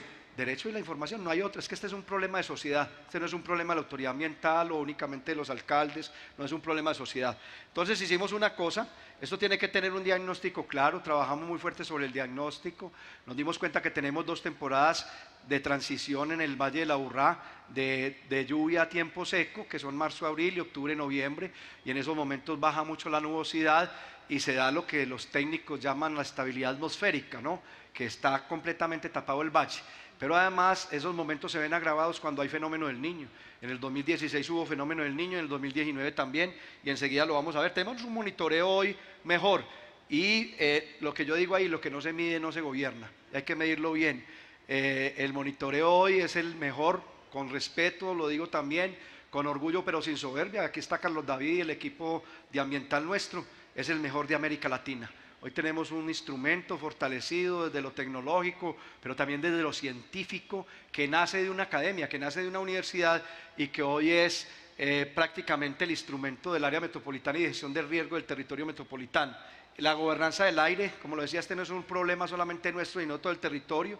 Sistema de vigilancia en suelo ambiental, ayer nos dijo el gobierno nacional que lo va a llevar como modelo en Colombia y es coger nuestras estaciones de monitoreo a cruzar con todo el sistema de salud en la morbimortalidad y saber cuál es el riesgo asociado por esos contaminantes atmosféricos para la salud y la vida de quienes habitamos este territorio, de quienes nos visitan. El ordenamiento y la biodiversidad, ustedes ya vieron lo que estamos haciendo en ese trabajo, no me voy a quedar. Y el tema de comunicación pública, eh, si nosotros no sabemos comunicar, tenemos muchos problemas y muchas dificultades y ahí estamos trabajando también con el tema de la Escuela de Ecología Urbana, seguimiento, control y regulación.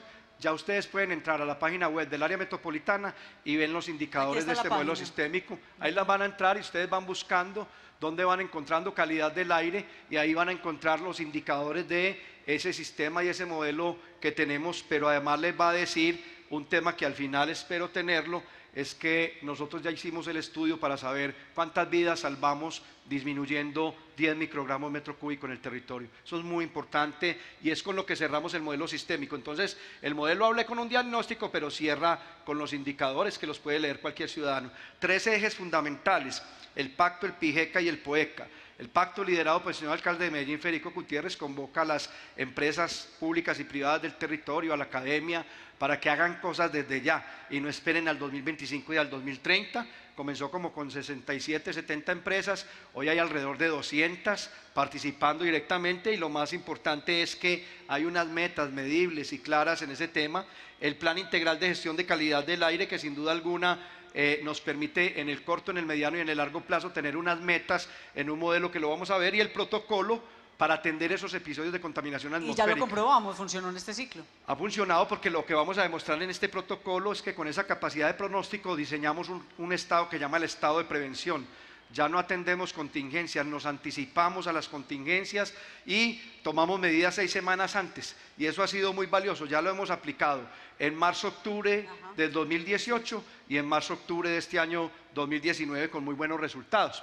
Y este está todo el tema de cómo sistematizamos la problemática, que es lo que sucede aquí, sucede en otras partes del mundo, es una problemática mundial, cómo el gobierno nacional viene haciendo un trabajo, pero también tengo que decirlo, y se lo ven diciendo a los ministros, no estamos midiendo bien en toda Colombia. Nosotros no tenemos los mismos números de estaciones y en Colombia no están trabajando el tema en tiempo real.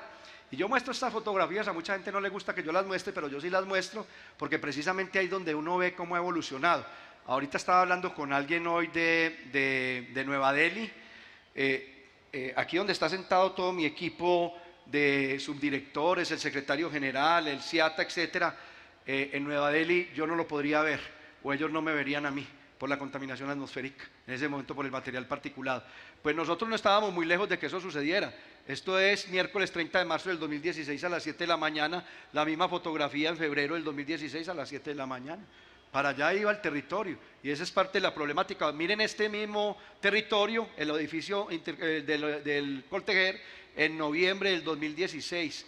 Esa era la problemática que teníamos y cómo va variando el territorio a medida del 2017 comenzamos a tomar alertas y esto es lo más importante. Observen ya el territorio en el 2018, ya se va eh, yendo esa capa de ese material particulado. Ah, sí, hay nubosidad, pero la nubosidad que tiene agua que es muy diferente a esa nubosidad con material particulado y comenzamos a ver nuevamente el cielo azul profundo de este territorio metropolitano. Esto es muy importante. Y esto es muy valioso porque es que no estamos hablando solamente de nosotros, por eso estamos hablando de la transición ecológica. Este es el territorio que nos prestaron nuestros hijos y los hijos de nuestros hijos y que nosotros tenemos que entregárselo en mejores condiciones. De eso se trata la sostenibilidad. Eh, cómo comenzamos a cambiar y cómo los medios de comunicación reconocieron que estamos trabajando desde el conocimiento científico. El problema no es solamente de Medellín y del Valle de la Urra, sino del país. Y entonces cómo trabajamos una política pública con unos instrumentos partiendo de un tema de establecer metas, de determinar disminuciones, de desarrollar unas estrategias, implementar unos controles y hacer un PHBA, colocando en el centro la salud, la calidad ambiental, la investigación científica y obviamente la articulación intergubernamental en gobernanza multinivel, pero fundamentalmente articular a los actores en esas metas y en ese compromiso, que es lo que ha venido dando resultado. Este es el plan integral, las 10 líneas estratégicas con cinco transversales que ha sido supremamente reconocido, pero en todas estamos trabajando, en todas hay unas metas, en todas hay unas acciones y cómo teníamos que pegarle específicamente a unos problemas más claros, el tema textil, el tema químico en, los, en las fuentes fijas y en las fuentes móviles, observe el tema de los camiones, las volquetas, las motos que nos está generando, cómo construimos participativamente el plan, cómo construimos participativamente la ruta, cómo hemos venido conversando y articulando con todos los actores del territorio en ese plan que hoy es una política pública, la Mesa Permanente de Calidad del Aire, con los eh, ministerios que han venido acompañándonos y que han venido tomando decisiones, el DNP, Ecopetrol, el municipio de Medellín, los otros municipios, y esto ha sido supremamente valioso cómo fortalecimos la red de calidad del aire, como lo estamos haciendo ahora el tema de monitoreo. Y yo ahí, pues ustedes conocen ya muy bien el CIATA, pero yo quiero hacer un énfasis en algo, ciudadanos científicos.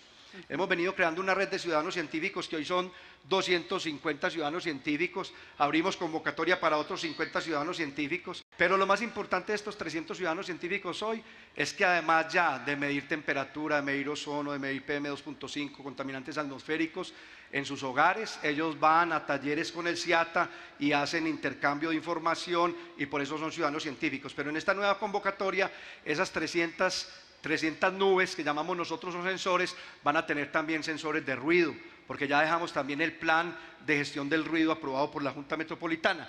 Y 100 ciudadanos científicos en bicicleta, 50 en nuestras bicicletas públicas y 50 en bicicletas que ellos eh, recorren el territorio.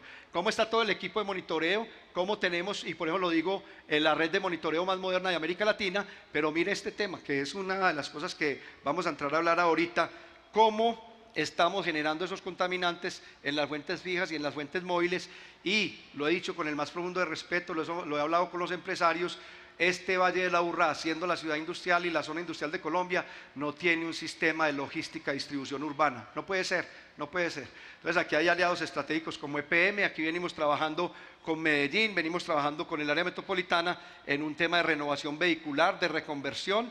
Aquí está el tema de las motos, motos, camiones y volquetas, y no estamos hablando de motos dos tiempos, motos cuatro tiempos, todas estas representan el 82% de ese 80% de, fuentes móviles. Y observe aquí una noticia, los buses. Nosotros venimos haciendo un tema de renovación del transporte público colectivo muy fuerte en Medellín en el Valle de la Urrá. Y se estaba tragando el transporte especial, ese esfuerzo en transporte público colectivo, que hoy va al 1.2% de las emisiones en la forma como se ha venido renovando ese transporte público en el Valle de la Urrá y lo que representa pues obviamente el sistema de transporte masivo con la movilidad eléctrica y lo que hizo el señor alcalde de Medellín con los buses eléctricos que entran a conformar el sistema. No voy a hablar de este tema, pero ahí tienen ustedes uno de los inventarios más complejos, cómo sigue creciendo la tasa vehicular. 140 mil vehículos entran al año al Valle de la Urrá. Hemos calculado que al 2030 vamos a tener 3 millones de vehículos. ¿Cómo? ¿Con qué tecnologías? ¿Dónde van a rodar? Etcétera. Parte de la problemática que continúa y que obviamente tendremos que hacer acuerdos sobre ella. Y en ese orden de ideas decíamos de las 200 mil visitas, que no lo voy a, reiterar, hemos devuelto alrededor del 49% Liliana. Pero ¿cuál es el problema de esto? El 50% de los vehículos están evadiendo la prueba tecnomecánica y en emisión de gases. Nosotros revisamos el otro 50 y de ese 50 estábamos devolviendo el 49%. Ese es un problema muy complejo para el territorio, cuando adicionalmente le decimos al territorio que esa prueba en lo que respecta a la emisión de gases no está sirviendo absolutamente para nada porque la norma 910 está poniendo unos estándares demasiado bajos y el modelo Copper, que es el modelo europeo, está, nosotros estamos generando entre 3 y 37 veces más de emisiones que lo que, genera ese modelo. Entonces estamos trabajando con una investigación que hicimos ahí en ese tema. ¿Cómo, es, cómo estamos visitando el territorio? ¿Cómo trabajamos con las fuentes fijas y las fuentes móviles? ¿Cómo hemos venido también reconociendo a las empresas que están haciéndolo bien, que vienen trabajando por la sostenibilidad y cómo vienen trabajando por la renovación o lo que llamamos la transición energética. Y obviamente aquí está el, tema del reconocimiento empresarial. Este año este reconocimiento empresarial lo estamos haciendo con el Incontec porque queremos que las empresas que queden en primer lugar queden ya a puertas de comenzar a ser empresas eh, carbono neutro, como lo es hoy nuestra Universidad Pontificia Bolivariana, que es la primera en eso. Aquí está este proyecto y esta investigación que se la entregamos al Gobierno Nacional, donde dice que hay que cambiar el modelo tecnomecánico. Este es el tema de los combustibles, cómo si se pudo hacer en tres años, no en tres años, sino en un año, el tema de la mejora de los combustibles en el diésel.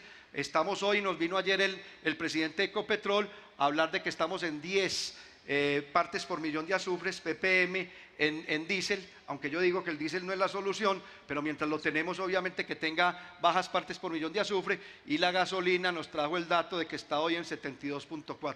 Ese es un dato muy importante, aunque creemos que la gasolina tiene que seguir bajando para que podamos hablar de Euro 6 en el territorio en esos combustibles.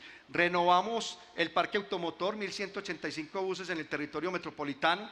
El 77% de los buses en el transporte público ya metropolitano son Euro 4 y Euro 5 y por eso pues obviamente están generando menos contaminación y este tema, sacamos 410 buses ahí ponen la palabra viejos y ellos se enojan conmigo. Yo eh, con obsolescencia tecnológica para que no tengamos esa dificultad.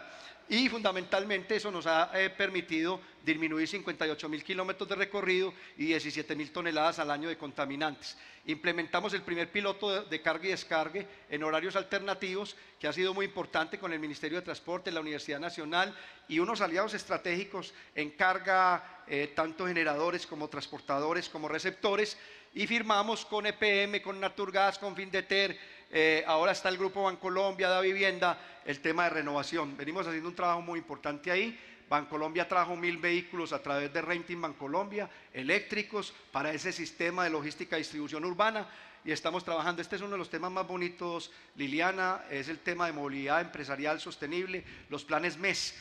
Estamos tocando ya hoy alrededor de 300 empresas y 340 mil trabajadores en el territorio que hacemos un estudio, una línea base de cómo llegan de sus hogares a sus empresas y cómo se devuelven de sus empresas a sus hogares y eh, medimos esa huella de carbono de esas empresas. Y en uno o dos años ellos tienen que hacer un compromiso, cambiando hábitos de movilidad, de disminuir entre un 10 y un 20% esa huella de carbono. Y eso está generando una cosa muy bella en el territorio. Y obviamente el protocolo, porque no nos queríamos quedar solamente en el plan, para disminuir esas concentraciones, cuando se presentan esos episodios en el territorio, quiero destacar aquí simplemente dos cosas. Una primera es cómo nos estamos midiendo eh, y la segunda, el estado de prevención.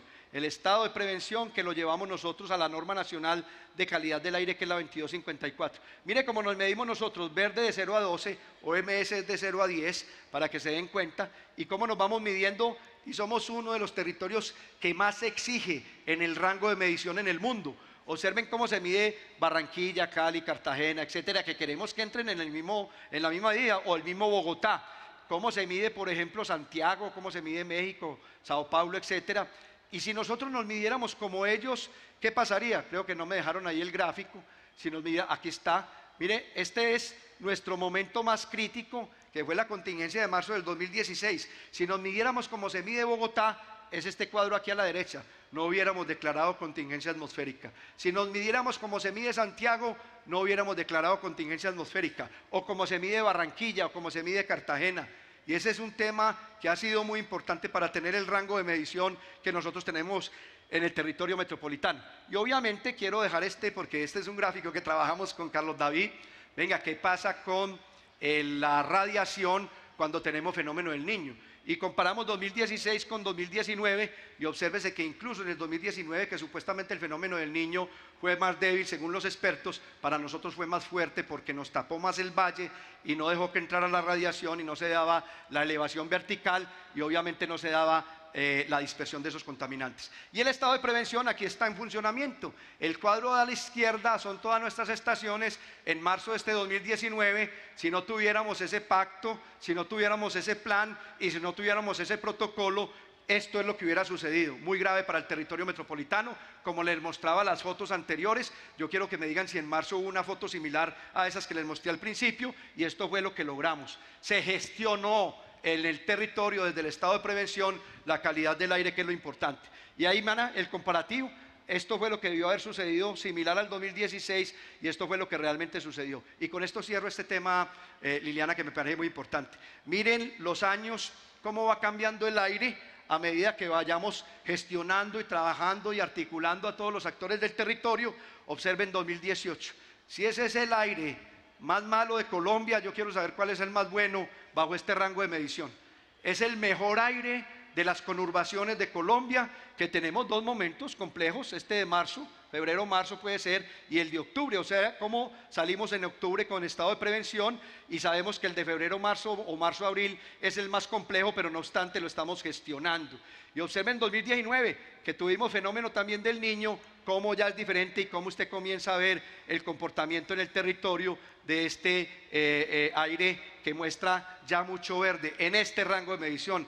Así que me parece, y quiero pues aquí cerrar estos temas diciendo, hemos hecho un trabajo serio, la academia, el CIATA, eh, nuestro equipo de aire y de la subdirección ambiental, la ciudadanía, las empresas, las organizaciones sociales, los municipios, sin duda alguna muy valioso. Pero entonces estamos dejando un instrumento adicional. ¿Cuál es el riesgo que hay si nosotros no controlamos ese tema de calidad del aire y estamos vinculando nuestras estaciones de monitoreo de calidad del aire con esa eh, data que nos da la eh, Secretaría de Salud del Departamento de morbimortalidad. Y eso nos está permitiendo que esta eh, data que hay en el centro de más de 400 millones de datos nos diga cuál es el nivel de riesgo asociado por esa contaminación atmosférica a la vida y a la salud del territorio.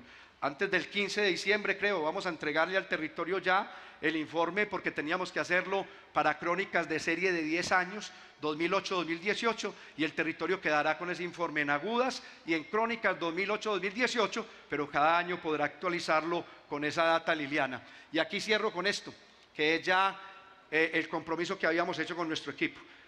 Esa disminución en concentraciones en el territorio con el estudio que tenemos y la línea base nos dice que hemos logrado alrededor de 1.600 vidas que no se pierdan en este territorio metropolitano. Y eso es muy importante, yo creo que eso es lo más importante. Una sola vida ya es importante. ¿Y por qué logramos 1.600 vidas? Eh, pues aquí no tengo el cuadro, lo voy a tener posiblemente al final, pero porque fundamentalmente estamos disminuyendo en 10, 12 microgramos las concentraciones. Si esos 10, 12 microgramos los baja Beijing o los baja Nueva Delhi, tal vez ni se note.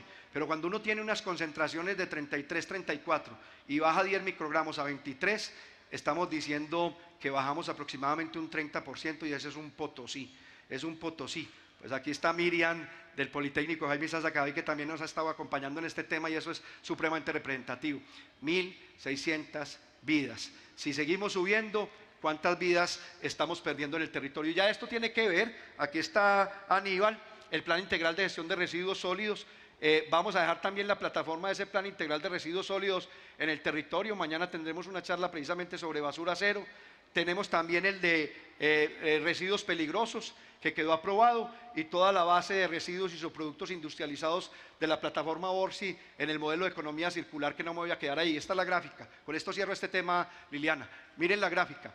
Esto es lo que bajamos. Nosotros íbamos hacia acá en PM 2.5 y esto es lo que hicimos en el Plan Integral de Gestión de Calidad del Aire.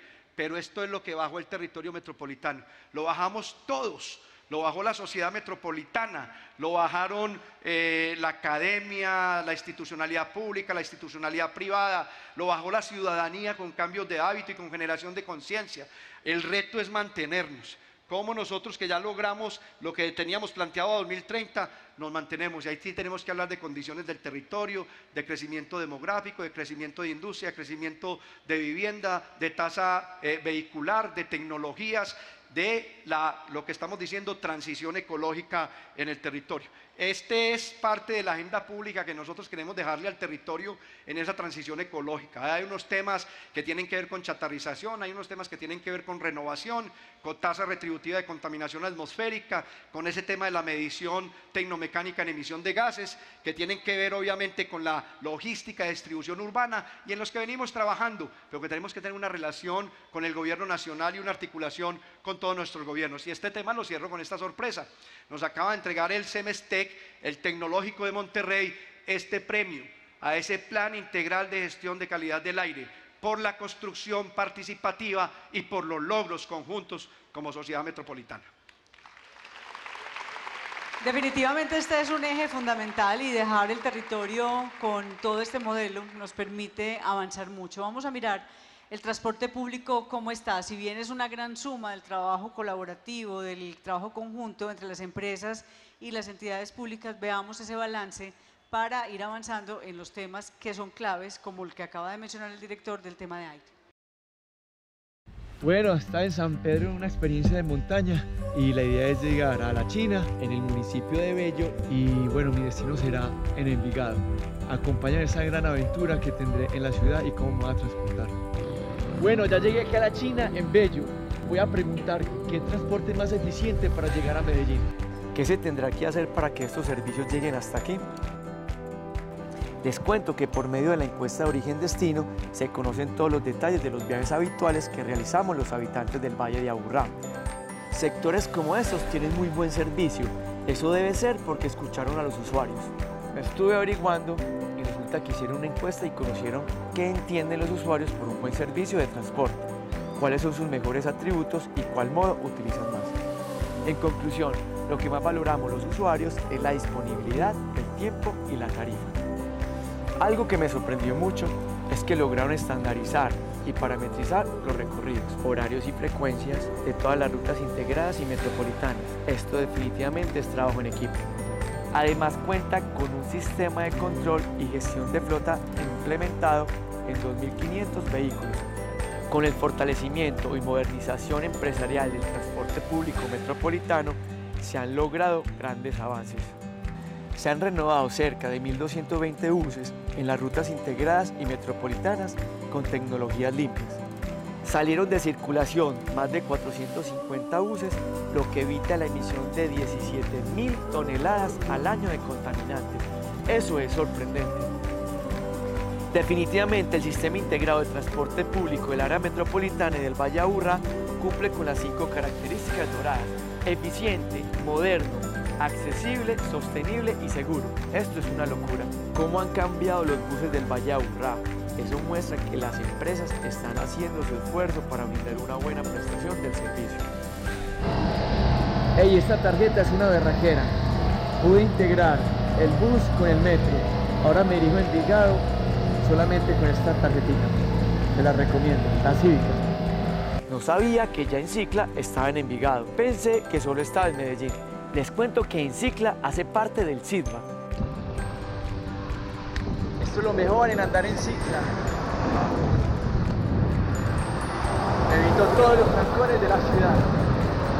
Con Cívica he podido transportarme hoy en bus, metro y en cicla. Gracias a que se ha consolidado como único medio de pago para el 100% de las rutas integradas. Con el tiquete impreso había muchos fraudes. Gracias a la cívica se aumentaron los ingresos del sistema y se integra al metro. Gracias a las acciones que ha promovido el área metropolitana del Valle Aburrá, he vivido en mi recorrido el mejoramiento y la cobertura del transporte de la región. Además, se siente como han fomentado nuestra cultura para que seamos más responsables con las decisiones de movilidad. Hoy me di cuenta de la transformación de nuestro territorio. Ahora tenemos más movilidad, más área. Bueno, aquí es una maravilla, con una, con una tarjeta, la posibilidad de integrarse, pero también al escuchar los transportadores directores lo que han ganado, lo que han aprendido y la visión que tienen hoy del área metropolitana. Ese es otro ejercicio de gobernanza, Liliana, porque hay que decirlo, eso no es fácil, porque juntar las empresas que antes son competencia en una, en una cuenca y que ellas trabajen bajo un modelo de integración es bastante complejo y se ha logrado precisamente conversando, conversando. la última cuenca que nos faltaba, pero que creo que ya presentaron propuesta es la cuenca 5, porque el último municipio que entró fue Envigado. Y, entiendo que van muy adelantados y muy avanzados.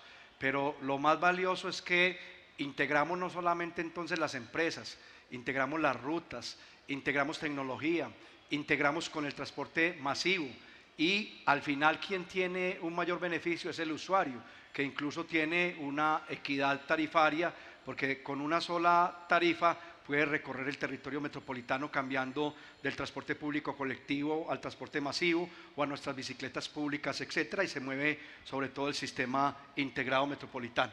¿Qué nos queda faltando ahí? Lo que estábamos hablando ahora, cómo invertimos la pirámide, lo que había hecho Medellín en su POT, lo llevamos al resto del territorio, dándole prioridad al peatón, dándole prioridad precisamente al uso de las bicicletas y a mí me parece que hay que destacar ahí unos temas que son importantes desde las acciones que se tienen en el plan, que me parece que es muy valioso traerlo. El tema de la integración que ya estaba haciendo referencia a él, el tema de la tarjeta cívica, que lo dijo bien el joven al final, porque me parece que el video es muy completo. Eh, Aquí hay una sola tarjeta, hay ciudades que tienen varias tarjetas y se enredan con ese tema del recaudo y cómo logramos ya el 100% de las rutas del área metropolitana estar integradas con esa tarjeta cívica. Y comienzo a hablar de unas cifras de Encicla, 93 mil usuarios en Encicla hoy, que son muy valiosos. Construimos ya eh, ciclocaminabilidad, estamos hablando de 80 kilómetros que integren el territorio metropolitano. ¿Por qué hablamos de ciclocaminabilidad? Porque hablábamos de cicloinfraestructura, pero también de peatonalización, como lo dice el triángulo invertido de la movilidad. Aquí tenemos unos temas muy importantes. Miren la distancia equivalente entre Medellín y nuestro querido municipio de Jericó, que ahora acompañamos solidariamente en las dificultades que tiene. Estamos expandiendo las estaciones a 150 estaciones. Habían 50 en Medellín y dos en Sabaneta, pero que no se integraban y no conversaban. Y hoy estamos dejando un sistema metropolitano en los 10 municipios, comenzando por las conurbaciones. Lo que decía ahora el mago aquí, ya tenemos 14 estaciones funcionando en Envigado. Esperamos ahora en diciembre entregar las de Itagüí y las de Sabaneta y dejar esa conurbación y seguiríamos en el municipio de Bello, pero también iríamos extendiendo todo el territorio. Compramos de 2.000 nuevas bicicletas, teníamos 1.200, quedamos con más de 3.000 bicicletas en el territorio. Aquí hay eh, la capacidad de operación de Encicla, llegamos a 600.000 habitantes eh, beneficiados y eh, hemos hecho 307 cicloparqueaderos para 1.800 bicicletas en el territorio. Llegamos a un promedio de 17.000 préstamos diarios. Cuando arrancamos teníamos 17 mil préstamos diarios. Y en ese orden de ideas, aquí hay un tema supremamente interesante. Ya llegamos al préstamo 12 millones. En estos casi cuatro años hemos hecho el 82% de esos casi 12 millones de préstamos. Y un tema muy interesante, por cada bicicleta pública, por cada bicicleta pública que estamos ah, eh, prestando en el territorio, la encuesta origen-destino que se mencionó ahí eh, dice que estamos eh, teniendo una relación de cinco bicicletas particulares. Yo creo que hay un video en Cicla que lo podemos llevar para que entonces nos ayuden a profundizar el tema de Encicla. Nuestro territorio avanza hacia una movilidad segura, incluyente, amable y sostenible. Más movilidad, más área. Encicla es el primer sistema de bicicletas públicas metropolitanos de Latinoamérica, que integra el territorio y consolida la cultura de la bicicleta como un medio de transporte. Asumimos directamente la operación del sistema y logramos grandes avances en la prestación del servicio. 95 mil usuarios inscritos, 12 millones de préstamos. El 82% de estos préstamos se realizaron en los últimos cuatro años. Según la encuesta Origen y Destino, en el Valle de Aburrá, por cada viaje que se realiza en Encicla, se hacen 5 viajes en bicicleta particular. En promedio se realizan 16.500 préstamos diarios en Encicla. Es decir, en todo el Valle de Aburrá se están realizando aproximadamente 100.000 viajes en bicicleta diariamente. Ampliamos los horarios para beneficiar a estudiantes y trabajadores operando hasta las 10 de la noche e incluimos la prestación del servicio los sábados hasta las 9 de la noche. Con la expansión de Encicla, el Valle de Aburrá contará con 130 estaciones y 3.500 bicicletas. En nuestra APP Área 24-7 se puede consultar en tiempo real la información de Encicla, disponibilidad de bicicletas, ubicación de las estaciones y ciclorrutas existentes. Conectamos el territorio con nuevos kilómetros de ciclocaminabilidad y más espacio público. Los municipios del norte tendrán un total de 37.11 kilómetros de ciclocaminabilidad, con la intervención de ciclorrutas y el mejoramiento de senderos peatonales. En Medellín serán 19.51 kilómetros de ciclocaminabilidad. Uno de sus principales proyectos es el Corredor Verde La Picacha, 6.8 kilómetros de ciclorrutas y más de 15.000 metros cuadrados de espacio público intervenido a lo largo de la quebrada La Picacha. Este corredor cuenta con 57 intersecciones mejoradas, 110 nuevos árboles y más de 10.000 plantas menores sembradas.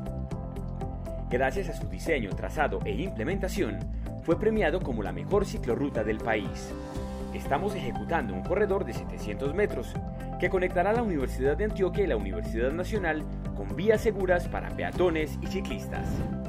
El sur del Valle de Aburrá tendrá 19.36 kilómetros de ciclocaminabilidad y espacios públicos para el disfrute de sus habitantes. Instalamos 307 cicloparqueaderos seguros en todo el Valle de Aburrá, con una capacidad para más de 1.840 bicicletas. Transformamos la cultura de la movilidad con acciones integrales que mejoran la calidad de vida de los habitantes del Valle de Aburrá.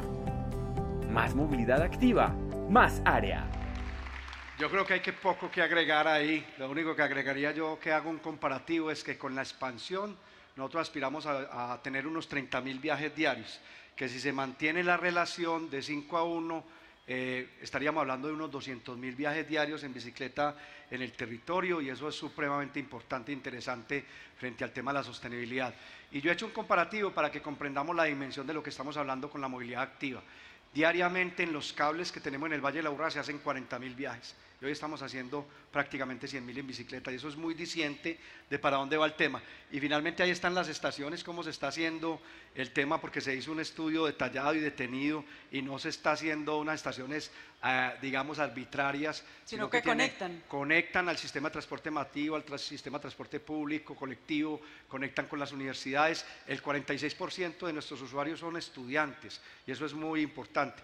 Pero ahí faltan unos datos ampliamos el servicio en un 33% cuando cogimos y se bajó el promedio de valor eh, viaje en bicicleta, que es muy importante también en lo que se viene haciendo en este esfuerzo de expansión. Así que me faltó saludar ahora, como estábamos hablando de biodiversidad y de lo ambiental, a la subdirectora, que era nuestra subdirectora ambiental, que aquí está, que es María El Pilar, y que aquí está el doctor Gustavo Londoño, que son los dos encargados de esa área ambiental, y la doctora Viviana Tobón, que es la subdirectora de movilidad. Ahí los vamos mencionando y al final pues nos vamos juntando todos acá.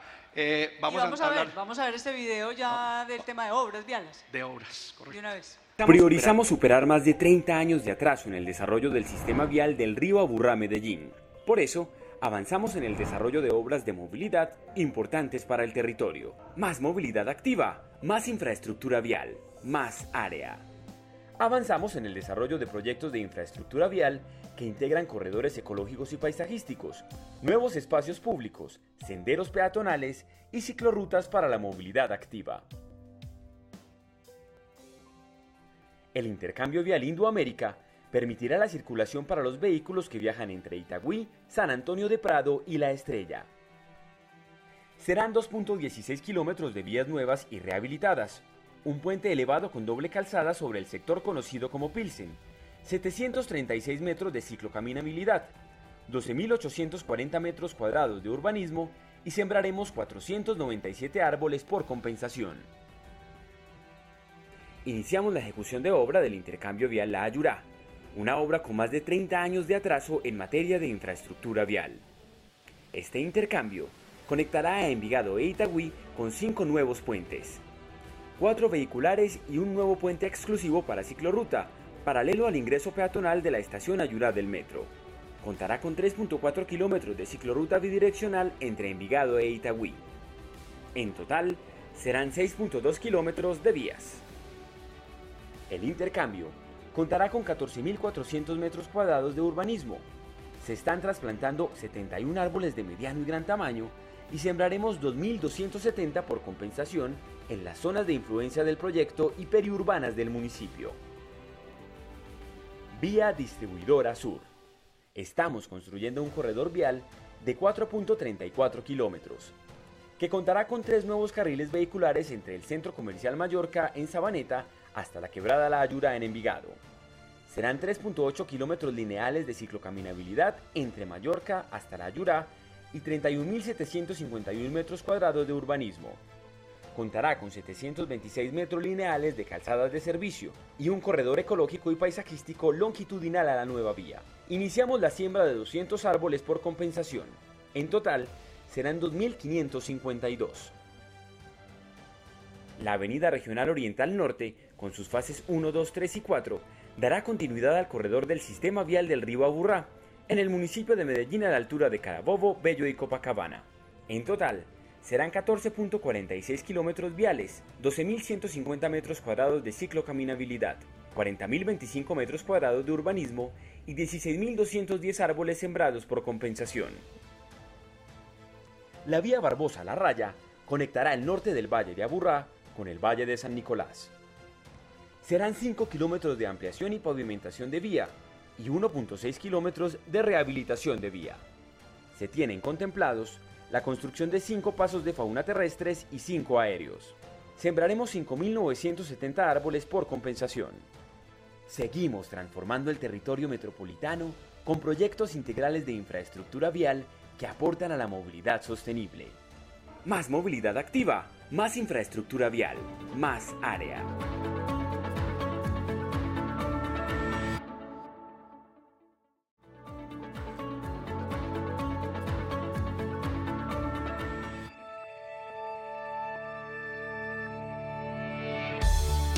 Transformamos el Valle de Aburrá con más espacios públicos sostenibles para el territorio, con más de 333 mil metros cuadrados de espacio público nuevo y recuperado en 53 obras metropolitanas como andenes, parques, urbanismo, cicloinfraestructura, espacios culturales, escenarios deportivos y edificaciones públicas.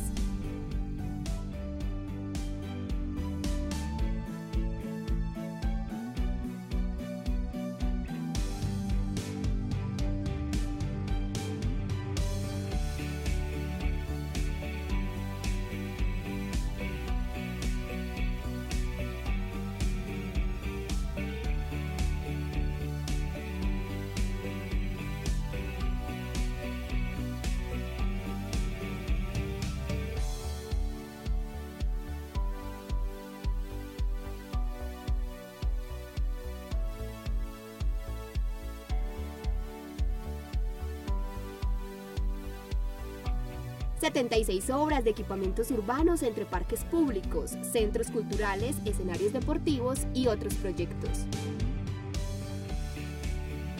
Con la construcción y recuperación de equipamientos urbanos y espacios públicos sostenibles, aportamos al equilibrio del Valle de Aburrá en la estructuración del modelo de ocupación del territorio y en el cierre de la brecha de segregación social gracias a la adecuada distribución de estos espacios y a la generación de oportunidades de acceso a diferentes ámbitos de encuentro, recreación, aprendizaje, esparcimiento deportivo y cultural.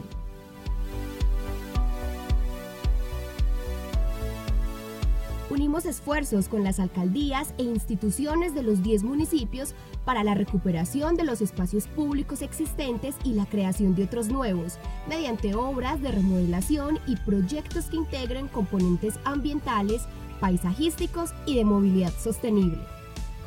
Con estas obras entregamos a los ciudadanos más espacios para el encuentro, la sana convivencia, la cultura, el deporte, la recreación y la educación ambiental más espacios públicos, más infraestructura, más área. Bueno, espacio público, obras, equipamientos, acompañamiento de los municipios. Un gran esfuerzo, director. No, satisfacción. Yo creo que le queda uno poco por agregar porque los videos están muy bonitos. Se hizo un esfuerzo. Yo, yo aprovecho para saludar también a nuestra directora de comunicaciones, Carolina Pinzón, que aquí nos acompaña, a todo el equipo de comunicaciones. un trabajo muy valioso y muy bonito. Y a Luis Ramón Pérez, que es el, subdirector de proyectos, a todo ese equipo, también un saludo muy cordial. Liliana, yo no voy a agregar más en este tema porque los proyectos y las, digamos que los, los, los videos hablan por sí solos y cuando estuvimos con los señores alcaldes y alcaldesas, yo hice un poquito la introducción del tema. Ya lo que sigue es el informe financiero y tenemos ahí algo que compartir que es el video de territorios inteligentes. Perfecto. Valle de Aburrá, territorios integrados inteligentes.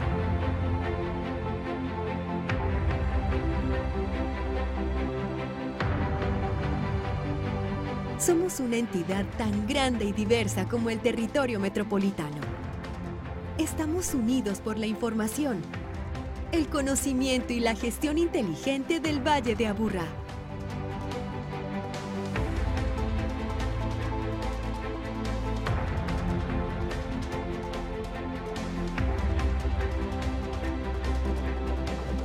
los días en nuestros recorridos y actividades cotidianas estamos produciendo conocimiento.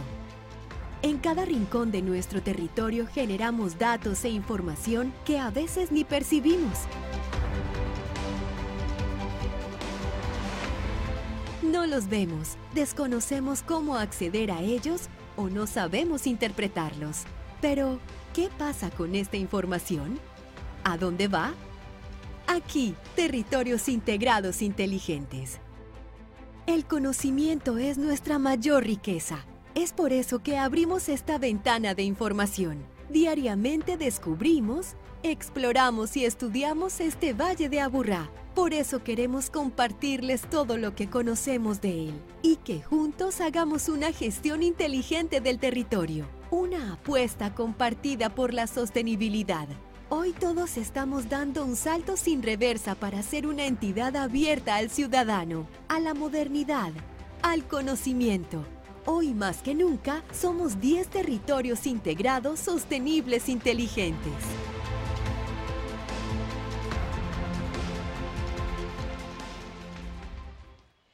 Más transparencia, más área, hay todo un trabajo también. Más tecnología. Más tecnología, más Quien no, aplicativos. quien no haya bajado nuestras apps puede utilizar Área 24/7 desde su App Store, desde su Google Play. Ahí tiene cinco aplicaciones en una.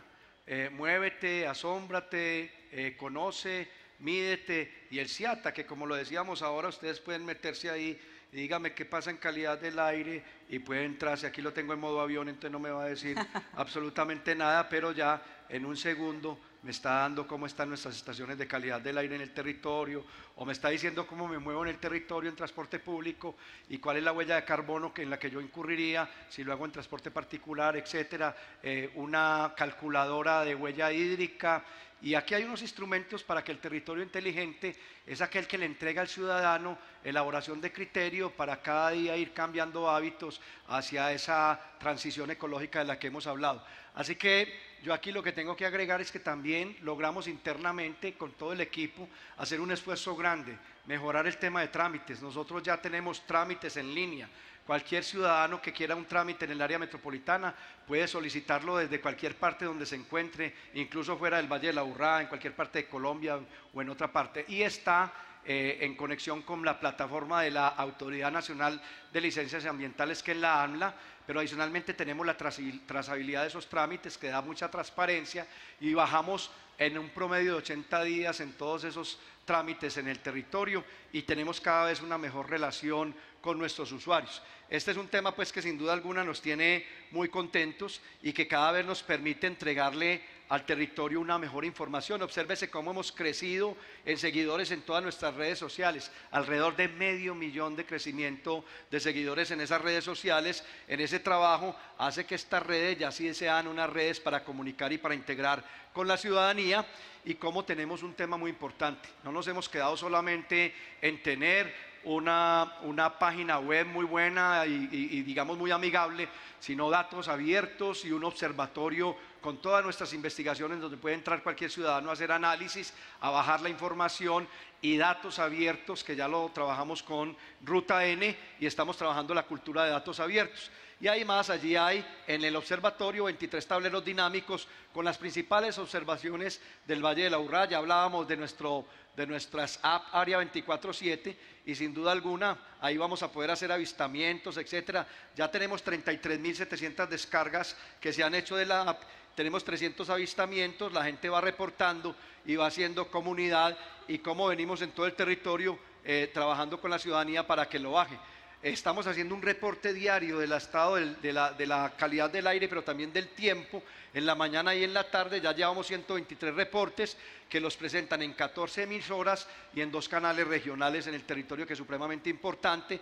Como en Cicla también lo estamos poniendo con sensores para poder recoger una data del territorio y como el mismo programa en Cicla viene haciendo un trabajo muy importante. Ahí está todo el tema de trámites en línea, cómo se puede pagar ya en línea y hacer el tema de, obviamente, de quejas, eh, peticiones, quejas y reclamos. Y yo quiero mostrar esto también porque el área metropolitana tiene una capacidad instalada enorme y viene trabajando con un sistema de gestión de calidad que garantiza que sus procesos son los procesos adecuados. Y durante cuatro años hemos estado ratificando la, certificación de esos procesos que nos permiten hablar del tema de gestión de la planeación metropolitana, de la gestión para el desarrollo de proyectos, de infraestructura pública, de gestión de autoridad ambiental urbana, de gestión de autoridad de transporte y de gestión regulatoria, que eso lo certifique en gestión de la calidad es muy importante y no podía terminar sin hablar de la gestión financiera.